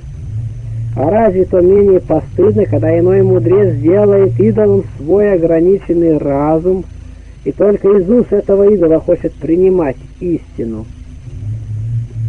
Рационалисты в деле познания человеческого тоже, что алхимики. Они вместо того, чтобы принять и пользоваться истиной, хотят выработать истину как алхимики. Хотели добывать золото из разных веществ и, подобно им, разоряется на это искание нового камня философского где в мире другие, другая религия, которая носила бы на себе такие ясные признаки божественного происхождения, как религия христианская. Христианская религия такова, что если из истории ее основания и распространения устранить или выключить все чудесные факты, она тем не менее не потеряет своей чудесности и божественности. Христианство, говорит блаженный Августин, основано или чудесами, или без чудес. Основано оно чудесами, значит оно истинная религия, потому что только Бог один может, как всемогущий Господь, Творец и Владыка природы, в чудесах проявлять всемогущество свое. Если же чудесное основание нашей веры совершилось без чудес, оно само есть чудо, высочайшее всех чудес. Потому что каким образом такое дело, превосходящее все силы человеческие, могло быть совершено такими делателями, при таких средствах и так скоро, решительно и полно? Чудесные действия христианской религии непостижимы для разума человеческого. Пусть так. Но чего ум не постигает, то еще не есть нечто такое, что противоречит его законам. Да и при том, разве пределы разумения человеческого должны быть пределом Божия всемогущества? Чудеса нарушают законы природы. Но это именно потому, что деятель их есть не природа, не подзаконной природы, а творец, виновник природы и ее законов, хотя иногда и через посредство своих рабов. Не должно искать естественных доказательств на то, что превыше естества, или за недостатком их опровергать и не признавать выше естественное не спрашивая, сообразно ли то с природой, когда что производит Творец природы. Златоуст. Кто отрицает возможность чудес, тот отрицает бытие единого живого Бога и всемогущего Творца. Чего не понимаешь, тому можешь только дивиться, а отвергать его не дерзай. Не все можно и должно изъяснять, многому должно только верить, потому что и можно только верить. Ум без веры есть слабый тростник, который непрестанно колеблется от ветра сомнений. Вера для разума есть тоже, что телескоп для глаза. С помощью телескопа глаз видит то, чего не может видеть сам по себе. Он проникает в пространство, недоступное для него без этого пособия. Подобно тому и вера, она только распространяет и укрепляет разум.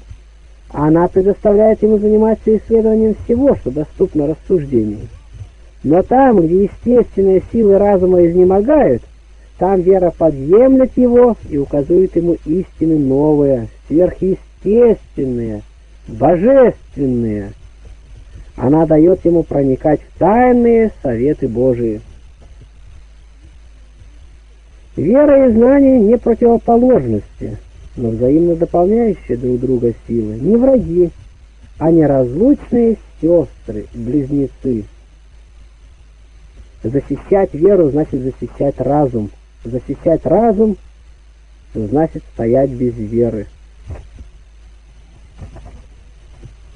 И неверие также требует от своих поклонников твердой веры, только веры не спасающей, а гибельной. Как суеверие нередко думает, что оно верует, когда в самом, самом деле не верит, так и неверие полагает иногда, что оно не верит, когда в самом деле вещи верит. Неверие – близнец суеверию. Суеверие и неверие идут рука об руку. Заклятые атеисты веровали в предсказания чародеев, и неверующие в Бога веруют в богов. Фарар. Нет никакого нет никого на свете, кто бы так был легковерен, как неверующие. Епископ Ириней. Человек вынуждается верить во что-либо. Если он не верит в вечный разум, то верит в неразумное. Если он не признает истины живого Бога, то верит в идола мертвой материи. Для чего Бог, сотворив человека разумным, не благоволил предоставить его в таком важном деле, как религия, руководству собственного его разума, но поручил его руководству веры. Блаженный Августин говорит, что так Бог поступил в этом деле собственно для своей славы, как господин не захочет, чтобы слуги его входили в исследование его повелений, особенно в делах тайных или важных, так и с величеством Божиим несообразно, чтобы человек, все ничтожное творение рук его, входил с ним в рассуждение о сокровенных и непостижимых намерениях его проведения и о порядке его судеб. И в самом деле должен согласиться, что покорность, какую мы оказываем Богу через веру, есть дань, принадлежащая Верховному Его владычеству. Гордость и нечестие, нежелание лишиться мнимой свободы своего ума и желание избавить себя, себя от упреков совести при свете веры, освещающей и обличающей действия злой воли. Вот основные причины неверия. Когда инженерам приходится работать ввиду укрепления осажденного города, что делают они тогда? Они прежде всего озабачиваются вывести впереди себя земляные насыпи, чтобы под прикрытием этих искусственных оград им можно было бы смело выдерживать огонь неприятельский и беспрепятственно совершать свои подземные работы. То же самое можно сказать и о неверующем. Оградой для него служит неверие – он устрояет себе эту защиту с той целью, чтобы стрелы закона не ранили его совести. В отношении к высшим священным истинам с развращенными людьми бывает то же, что с людьми, страждущими болезнью глаз. Свет им не сносен, особенно солнечный. Они с удовольствием предпочтут ему свет гнилого дерева, который более по их глазам, нежели солнечный. Таинство веры подобно солнцу, непроницаемое в существе своем. Он озаряет они и оживотворяет тех, которые шествуют во свете их в простоте сердца. Они ослепляют только дерзновенное око, желающее проникнуть в них. Глубины тайн Священного Писания, как вообще религии христианские, полезны они для того и скрываются, чтобы не были унижаемы, для того предлагается искание, чтобы упражнять, и для того открывается, чтобы питать нас, блажен Августин. Нужно внимательнее и чаще рассматривать святые истины веры. Как свет солнечный тем более являет свое благотворное действие в растениях, чем они более обращены и открыты к нему, так и учение божественное – тем более просвещает и животворит верующих, чем открытие к нему умы и сердца их. Без должного внимания нельзя хорошо научиться и музыке, тем менее при недеятельности души можно постичь таинственные глазы. Святой Златоуст. О предметах видимого мира мы тогда имеем раздельное понятие, когда сами наблюдаем их. Совсем не в такой степени ясности и раздельности представляемый предмет по рассказу других, сколько бы ни был полон рассказ этот, как по собственному наблюдению. Такое же свойство и познание наше о духовном мире. Наши понятия о нем бывают совершеннее, полнее и глубже, когда мы, так сказать, осяжем их чувством веры. Познание разума о предметах духовных без ощущения их сердцем подобно знанию пастуху. Если желаешь созерцания тайн, то делом исполни заповеди в себе, а не исканием одного познания о них. Степень познания богооткровенной истины соразмеряется всегда успехом нашим в богоугодной жизни. Чтобы убедиться в истине христианского учения, надо начать жить по-христиански, потому что христианский образ жизни водворяет в душе мир и радость, которыми человек, вкусивший их, не хочет расстаться и стремится к их источнику, искупителю нашему. Лучшая апология жизни Иисуса Христа есть жизнь христианина, в котором Иисус Христос живет. «Ты можешь заключиться в темной пещере, — говорит один богослов, — можешь иметь завязанные или выколотые глаза — но солнце ежедневно ходит по тверди в обычном своем величии и красоте. Тоже можно сказать о вере в Господа Иисуса Христа. Пусть люди отвергают Его, пусть заключает свое сердце для Его благодати, свой дух для Его света. Он верен в своих обетованиях и царствует вовеки над всем миром, видимым и невидимым. Спаситель сказал об основанной им церкви, хранительнице и носительнице религии христианской – что и самые врата адовы не одолеют ее. Словеса Христовы не пройдут мимо, хотя бы прошли небо и земля. Церковь, основанная Иисусом Христом, Это маяк, основание которого, обуреваемое волнами, нередко оставляющими на нем значительные слои своей пены, кажется готово сокрушиться под их ударами но на высоте которого горит огонь, никогда не угасающий, сияет свет, никогда не ослабевающий. Религия Иисуса восторжествует над настоящими оскорблениями со стороны неверующих, как восторжествовала над прошедшим неистовством своих врагов. Она восторжествует над пером нынешних лжемудрецов, как восторжествовала уже над мечом древних своих гонителей. Облачко, оно пройдет, так сказал святой Афанасий, об Юлиане отступники, который после кратковременного правления, в течение которого выказал столько отъявленной вражды против христианства, умирал со словами «Галилеянин, ты победил!» Это же самое изречение по справедливости можно применить и ко всем последним попыткам ложных теорий подкопать веру человечества в его божественного владыку – и Спасителя. Шестое. Вера и добрые дела. Вера, чтобы ей быть спасительной, требует жизни по вере, ибо вера без дел мертва, и, следовательно, не способна довести человека до жизни вечной. Добрые дела – душа веры, вера с добрыми делами – живая вера. Грех и вера не могут жить вместе. С верой необходимо соединяется в то же время и добродетель. Как огню свойственно согревать, в воде орошать, свету просвещать, так вере живой свойственно обнаруживаться в добрых делах. Внутренняя вера мертва без внешних дел, не потому только, что без дел нельзя судить о ее жизни, но и потому, что без дел невозможна самая ее жизнь, так же, как нельзя животному жить без вдыхания и выдыхания воздуха. Вера без дел мертва. Это вера мысли, а не сердца, а не жизни.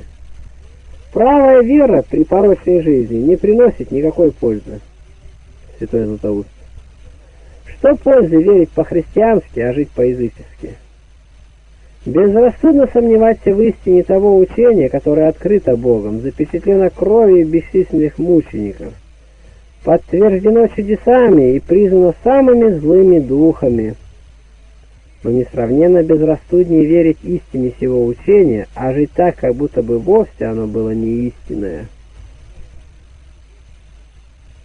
Не вера на словах спасает нас, но дела, соединенные с верою. Вера без дела и дела без веры равно будут осуждены. Верить только, что Бог есть, еще недостаточно. И бесы веруют. Должно веру оправдывать делами, такой веры от нас требует Христос. Если желаешь спасен быть верою, возлюби того, в кого веруешь. Вера без любви есть образ без жизни. С любовью христианская вера, без любви вера демонская. Располагай своим поведением по своей вере. Веруешь хорошо, так и живи хорошо. Предайся вере всей душою твоей, всей жизнью твоею, так, чтобы вера была главной мыслью твоей жизни, и вся твоя жизнь выражением веры. Седьмое. Об отношениях человека к Богу. Благоугождение Богу, памятование Бога, упоминание, упование на Бога, страх к Богу, любовь к Богу. Один Бог существует для себя, мы же все существуем для Бога. Угождать Богу – вот твое блаженство. Быть с Ним в соединении – вот твое назначение. Правило всех твоих деяний. Некто спросил Аву Пимена, как должно жить человеку? Старец отвечал, посмотрим на Даниила, пророка, не нашлось на него иного обвинения, как только в служении Господу Богу его. Так все делай и так обо всем думай, чтобы угодить Богу. А если нет у тебя этой мысли, то потеряет свою цену всякое твое делание. Ефрем О всяком деле, предприемлемом тобою, не спрашивай прежде, будет ли оно приятно, выгодно для тебя и похвально перед людьми, но прежде и паче всякого испытывай, будет ли оно угодно Богу, не будет ли противно его заповедям. Филарет Московский. Сперва честь Богу, а потом уже забота и о прочем. Златоуст. Ищи того, что Божие, и человеческое последует весьма легко. Ты позаботься о Божьем, и Бог позаботится о твоем. Златоуст. Бог не обидлив и награждает труды и терпение человека, и человек должен быть таким же в отношении к Богу, не должен скупиться на труд и терпение. Ты должен быть достоин того, который тебя назвал своим сыном, и во всем ты должен поступать так, как прилично Сыну Божию. Посему, когда ты начинаешь что-нибудь делать, то вспомни, что ты называешь Бога Отцом своим. Мы хотим себе послушных детей а сами не хотим быть послушны Богу. Чтобы последовать воле Божией, должно прежде свою волю отставить. Молодое деревцо привязывает к тычинке, и оно растет прямо и правильно. Так и душа, которая связала свою волю с волей Божией, восходит к горе, к Богу. Ничего нет лютее, как держаться своей воли и жить не по воле Божией. Если ты не чувствуешь в себе постоянного желания исполнять то, что угодно Богу, то ты и слеп, и глух, и нем, и без рук, и без ног, несравненно хуже расслабленного. Даже и мы не принимаем свои друзья, не допускаем в свое общество, не терпим в своем доме того, кто живет всегда в противоречии с нами. Так и Бог и тем более он, как все святые и правосудный, никогда не приемлет в свое небесное царство людей с упорной злою волею. Воля Божия не только наш высочайший закон, но и наше высочайшее благо.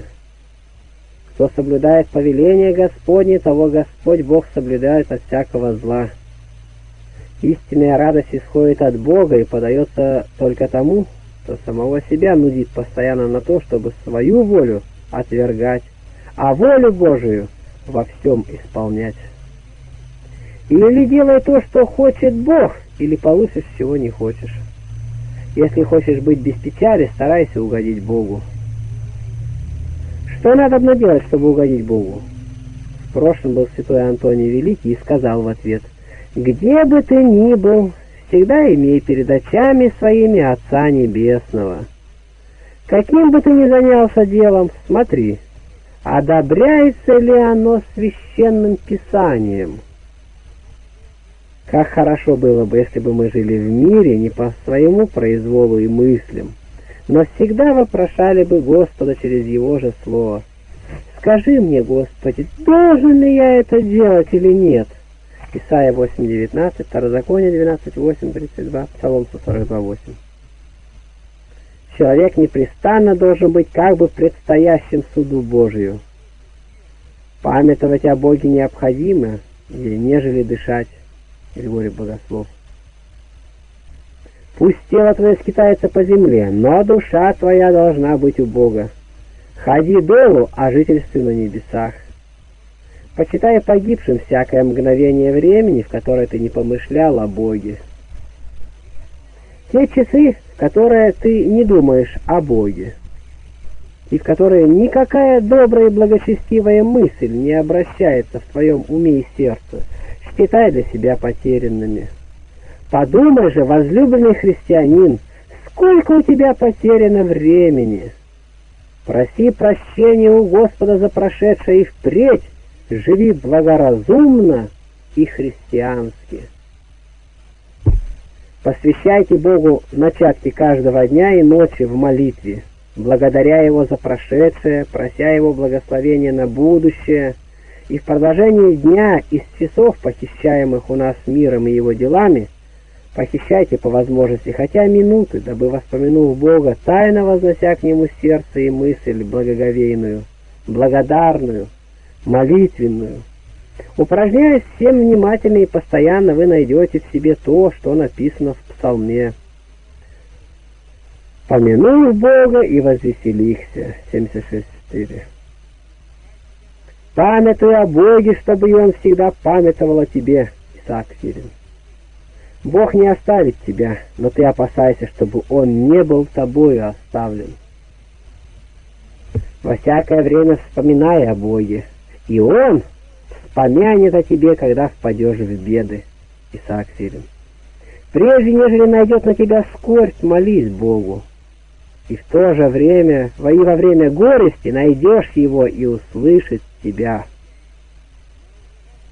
Во время памятования о Боге умножая моление, чтобы когда забудешь о Боге, Он не забыл тебя. Памятование о Боге не только не препятствует нашим упражнениям, а напротив делает их приятнейшими. Когда мы находимся с добрым другом, то продолжаем делать и при нем то же, что делали без него. И еще с большей радостью и успехом, особенно когда он может помогать нам своими советами, одобрять нас присутствием своим и даже вместе с нами работать, если мы имеем в том надобность. Если будем всегда созерцать Бога умом, если будем постоянно помнить о Нем, то для нас все окажется легким, все сносным, все мы будем переносить удобно и станем выше всего Златоуста.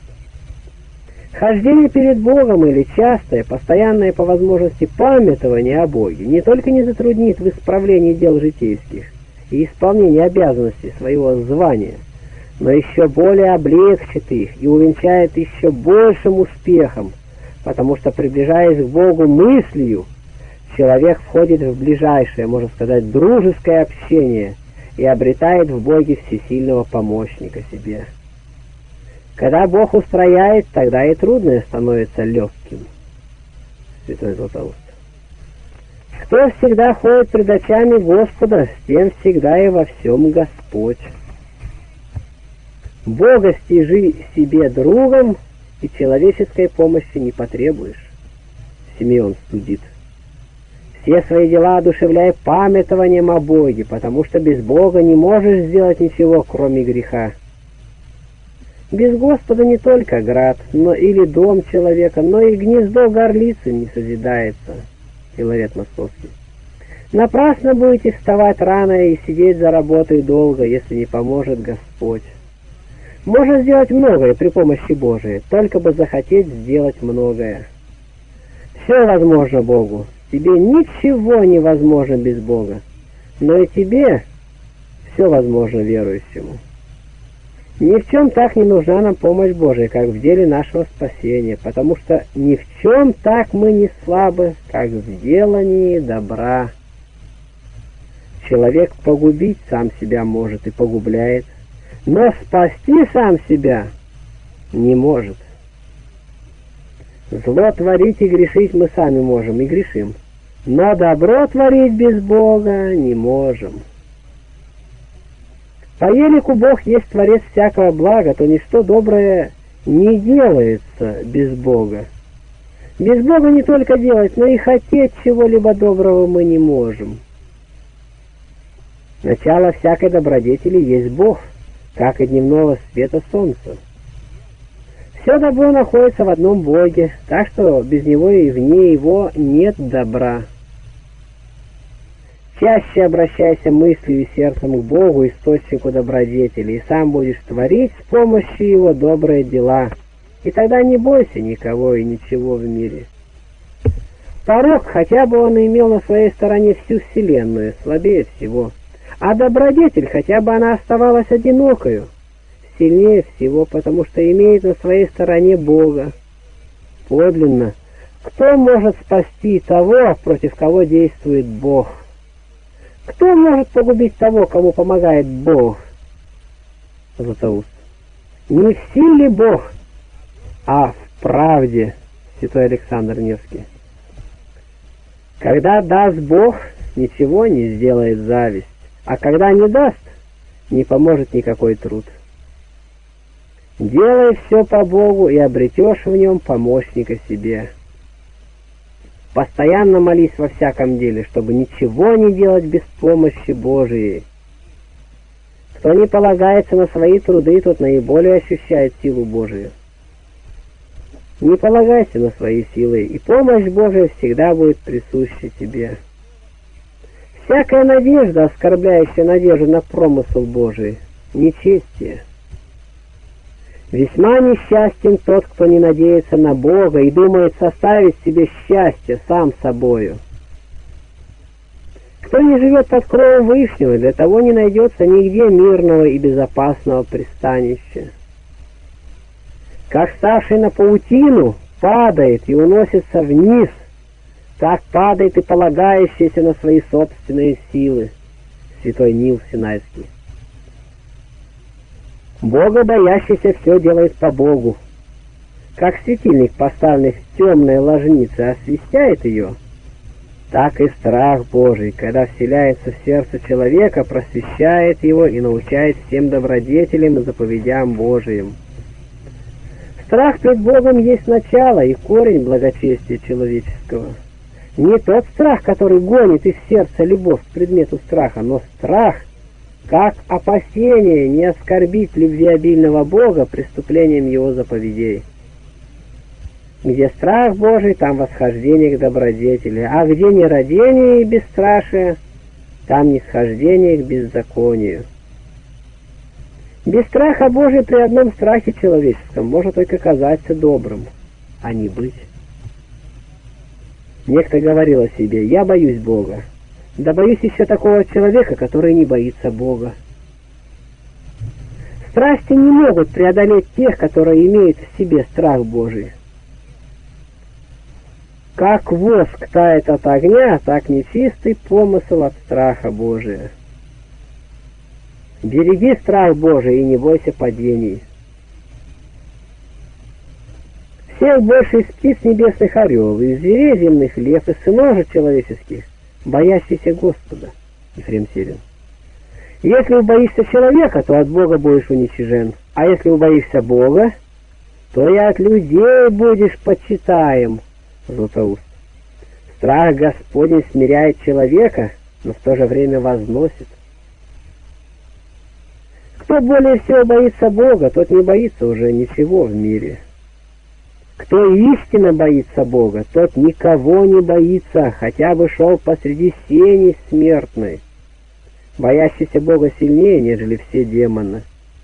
Кто не боится Бога, тот всего должен бояться. Да будет присущ нам страх Божий, и тогда ничто не опечалит нас будет ли то бедность, или болезнь, или плен, или рабство, или что-нибудь другое прискорбное. Бойся Бога не как мучителя, но бойся Его по любви, святой Афанасий Великий. Бог есть человеколюбец, как все его называем. Должно и человеку быть боголюбцем. Как нам не любить Господа? Им живем, им дышим, им движемся мы. Не удивительно ли, не противно ли даже простому смыслу обращения нашего сердца к тому, что вне Бога, что может нас погубить? Благочестивый Макарий, ученик святого Антония. Идя однажды с братьями, увидел мальчика, который говорил своей матери, «Один богач любит меня, а я не знаю, почему ненавижу его. Но бедняк ненавидит меня, а я люблю его». Выслушав это, Макарий изумился и задумался. «Что сделалось с тобой?» — спросили у него братья. «Слова, слышанные мною», — отвечал святой старец, — «значит следующее. Господь Бог богат в милости, ежедневно являет нам доказательства отеческой любви своей. А мы, безумные, не умеем ценить даров Его. Но дух пагубы, бедный и злобный, ненавидит, и как волк рыкающий ищет поглотить нас. А мы, ослепленные, любим его и не стыдимся ему раболепствовать. Если бы увидели, что поток быстрый в течение своем остановлен одним лоскутком бумаги, то не могли бы удержать от изумления. Подобное зрелище представляем и мы, когда безделка отводит наше внимание от Бога, увлекает ум и воображение к ничтожным предметам и препятствует сближаться с Богом в общении любви. Любви к Богу нельзя соединить с пристрастием к земле и к земным предметам. Чей ум привязан к какой-либо земной вещи, тот не любит Бога. Святой Максим Исповедник. Как две души не могут одушевлять одного тела, Так и две любви, любовь к Богу и любовь к миру, не могут одушевлять одной души. Два рода любви производят два рода гражданства в целом мире. Любовь к Богу делает нас гражданами Иерусалима, горнего небесного града. Любовь к миру — гражданами Вавилона, греховного града. Пусть же спросит каждый сам себя, что же он любит, и узнает, чей он гражданин, блаженный Августин. Все вещи в природе движутся по своему наклону. Легкие поднимаются на высоту, тяжелые влекутся к земле. В тварях разумных любовь служит этим наклоном, а и они стремятся туда, куда влечет их страсть, преобладающая в их сердце. Так, если в нас господствует любовь к тленным благам, жажда плотских удовольствий, желание почести и славы, тогда мы принадлежим исключительно земле, и возвыситься до небесных вещей будет нам так же трудно, как камни нести кверху. Но если через умершление плоти мы подаем в себе все земные желания, тогда дух наш, богоподобный дух, не задерживаемый никакими препятствиями, быстрее воспарит к Богу, чем камень не спадет с высоты к своему центру. Блаженный Августин, раскрывая смысл изречения псалмопевца, им же образом желает олень на источнике водной, так желает душа моя к тебе, Божий. Говорит, что олень обыкновенно умершляет змей, встречающихся ему на пути, когда он ищет воды, и что от того самого он ощущает в себе еще сильнейшую жажду, еще с большей скоростью бежит к источнику. Хотите ли знать, продолжает блаженный учитель церкви, почему у вас нет столь же сильной жажды совершенства и столь же неудержимого стремления к Богу? потому что вы не подавляете своих змей. Ваши змеи чувственные, плотские похоти. Умертвите же этих змей неправды, и тогда вы с сугубым усердием потечете к источнику жизни и истины. Огонь, разложен на земле, не стремится к ней, но всегда простирается вверх. Так и любовь твоя не должна покоиться в тебе, но всегда возвышаться к Богу. Мы должны иметь три сердца. Для Бога сердце чистое, для ближних сердце милостивое, для себя сердце злобное. Мы столько обязаны любить Бога больше себя, сколько Он больше нас. Мера любви к Богу есть любовь без меры. Для Бога ничего нет вожделения любви. Ничто так не угодно Богу, как сердце человека, пламенеющее любовью к Нему. Без любви же все действия человека, как бы они ни казались добрыми по внешности и даже великими, ничто не значат в очах Божьих и противны Богу. Дождь бывает полезен для почвы не тогда, когда она еще не совсем освободилась от снега и льда, а тогда, когда согрелась солнечными лучами, подобно всему и благость Божия находит достаточную приемлемость только в сердцах, согретых любовью к Богу. Любовь к Богу все обращает в средства к нашему спасению и блаженству. Без нее все средства не достигают всей цели. Не будет светить светильник без елея, и молитва не озарит духа без любви. Не взыдет без огня курение кадила, и молитва без любви не взыдет к Богу. Ничто не может заменить недостатка любви, но любовь заменяет собой недостаток всего. Люби, и ты будешь поступать справедливо во всяком случае, сам того не замечая. Это духовное начало научит тебя, как поступать во всех течениях обстоятельств. Не говори мне, что ты любишь Бога. Это одни слова. Покажи свою любовь самым делом. Златоуст. Где есть истинная любовь к Богу, там едва могут открывать уста, не благодаря и не прославляя Бога. Самый верный признак того, что в нас нет еще и зачатков любви к Богу, есть тяготиться служением Богу, нехотя исполнять, а тем более совсем не исполнять своих обязанностей в отношении к Нему. Блаженный Августин справедливо замечает, труды для любящих не тягостны. Они их увеселяют, как зверолов, зверолов, слов, рыбарей. Любя что-нибудь, мы или не чувствуем труда, или самый труд любим. Некто сказал Аве Агафону, «Мне дана заповедь, но исполнение заповеди сопряжено со скорбью, и хочется исполнить заповедь, и опасаюсь скорби». Старец отвечал, «Если бы ты имел любовь, то исполнил бы заповедь и победил бы скорбь. Где возьмется усилие к совершению подвигов благочестия у того, кто не имеет пламенной любви к Богу? Только люби, и тогда возможно сделать все, что захочешь. Блажен Августин. Люби все в Боге и во всем люби Бога. Тот не любит Бога, кто любит то, что Бог запрещает любить. Величайшее оскорбление для Бога, если ты поставишь мир соперником Ему. Всякая душа, любящая что-либо другое, паче Бога, любодейца есть. Всемогущий Творец наш по елику не имеет никакого, никого себе равного, то и любовью нашей ни с чем не хочет делиться, требует от нас всего сердца. И хотя повелевает нам питать любовь к ближним, но не хочет, что любовь эта служила для нас хотя малейшим препятствием, любить его всей душою. Ближнего не обижай и не обожай, а себя не боготвори. Бога же люби всею крепостью души и духа, то есть всем сердцем и всем умом. Любить себя должно только для Бога и части для ближних. Любить ближних должно для Бога, а любить Бога должно для Него самого и больше всего. Любовь к себе должно приносить в жертву любви к ближним, а любовь к себе и к ближним должно приносить в жертву любви к Богу. Если желаешь спасен быть верою, возлюби того, в кого веруешь. Гори огнем любви божественной, чтобы не гореть тем, которым будут гореть демоны. Возлюби Бога всем сердцем, всей душой и всем помышлением твоим, если хочешь избежать вечного мучения по смерти.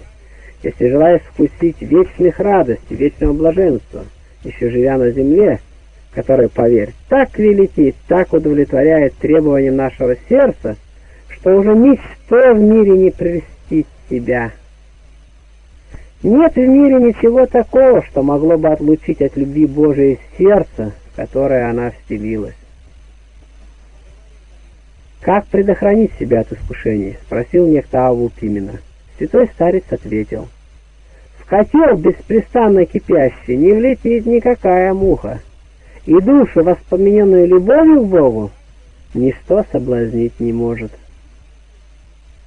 Если ты искренне возлюбишь Бога и будешь твердо стоять всей любви, то никакая страсть не возобладает над тобою. Симеон Новый Богослов. Мир и все, что в мире, ничего не значит для того, для кого Бог есть все. Любовь к Богу — неисчерпаемое сокровище — кто обладает им, тот богат, кто лишен его, тот беден. Василий Великий.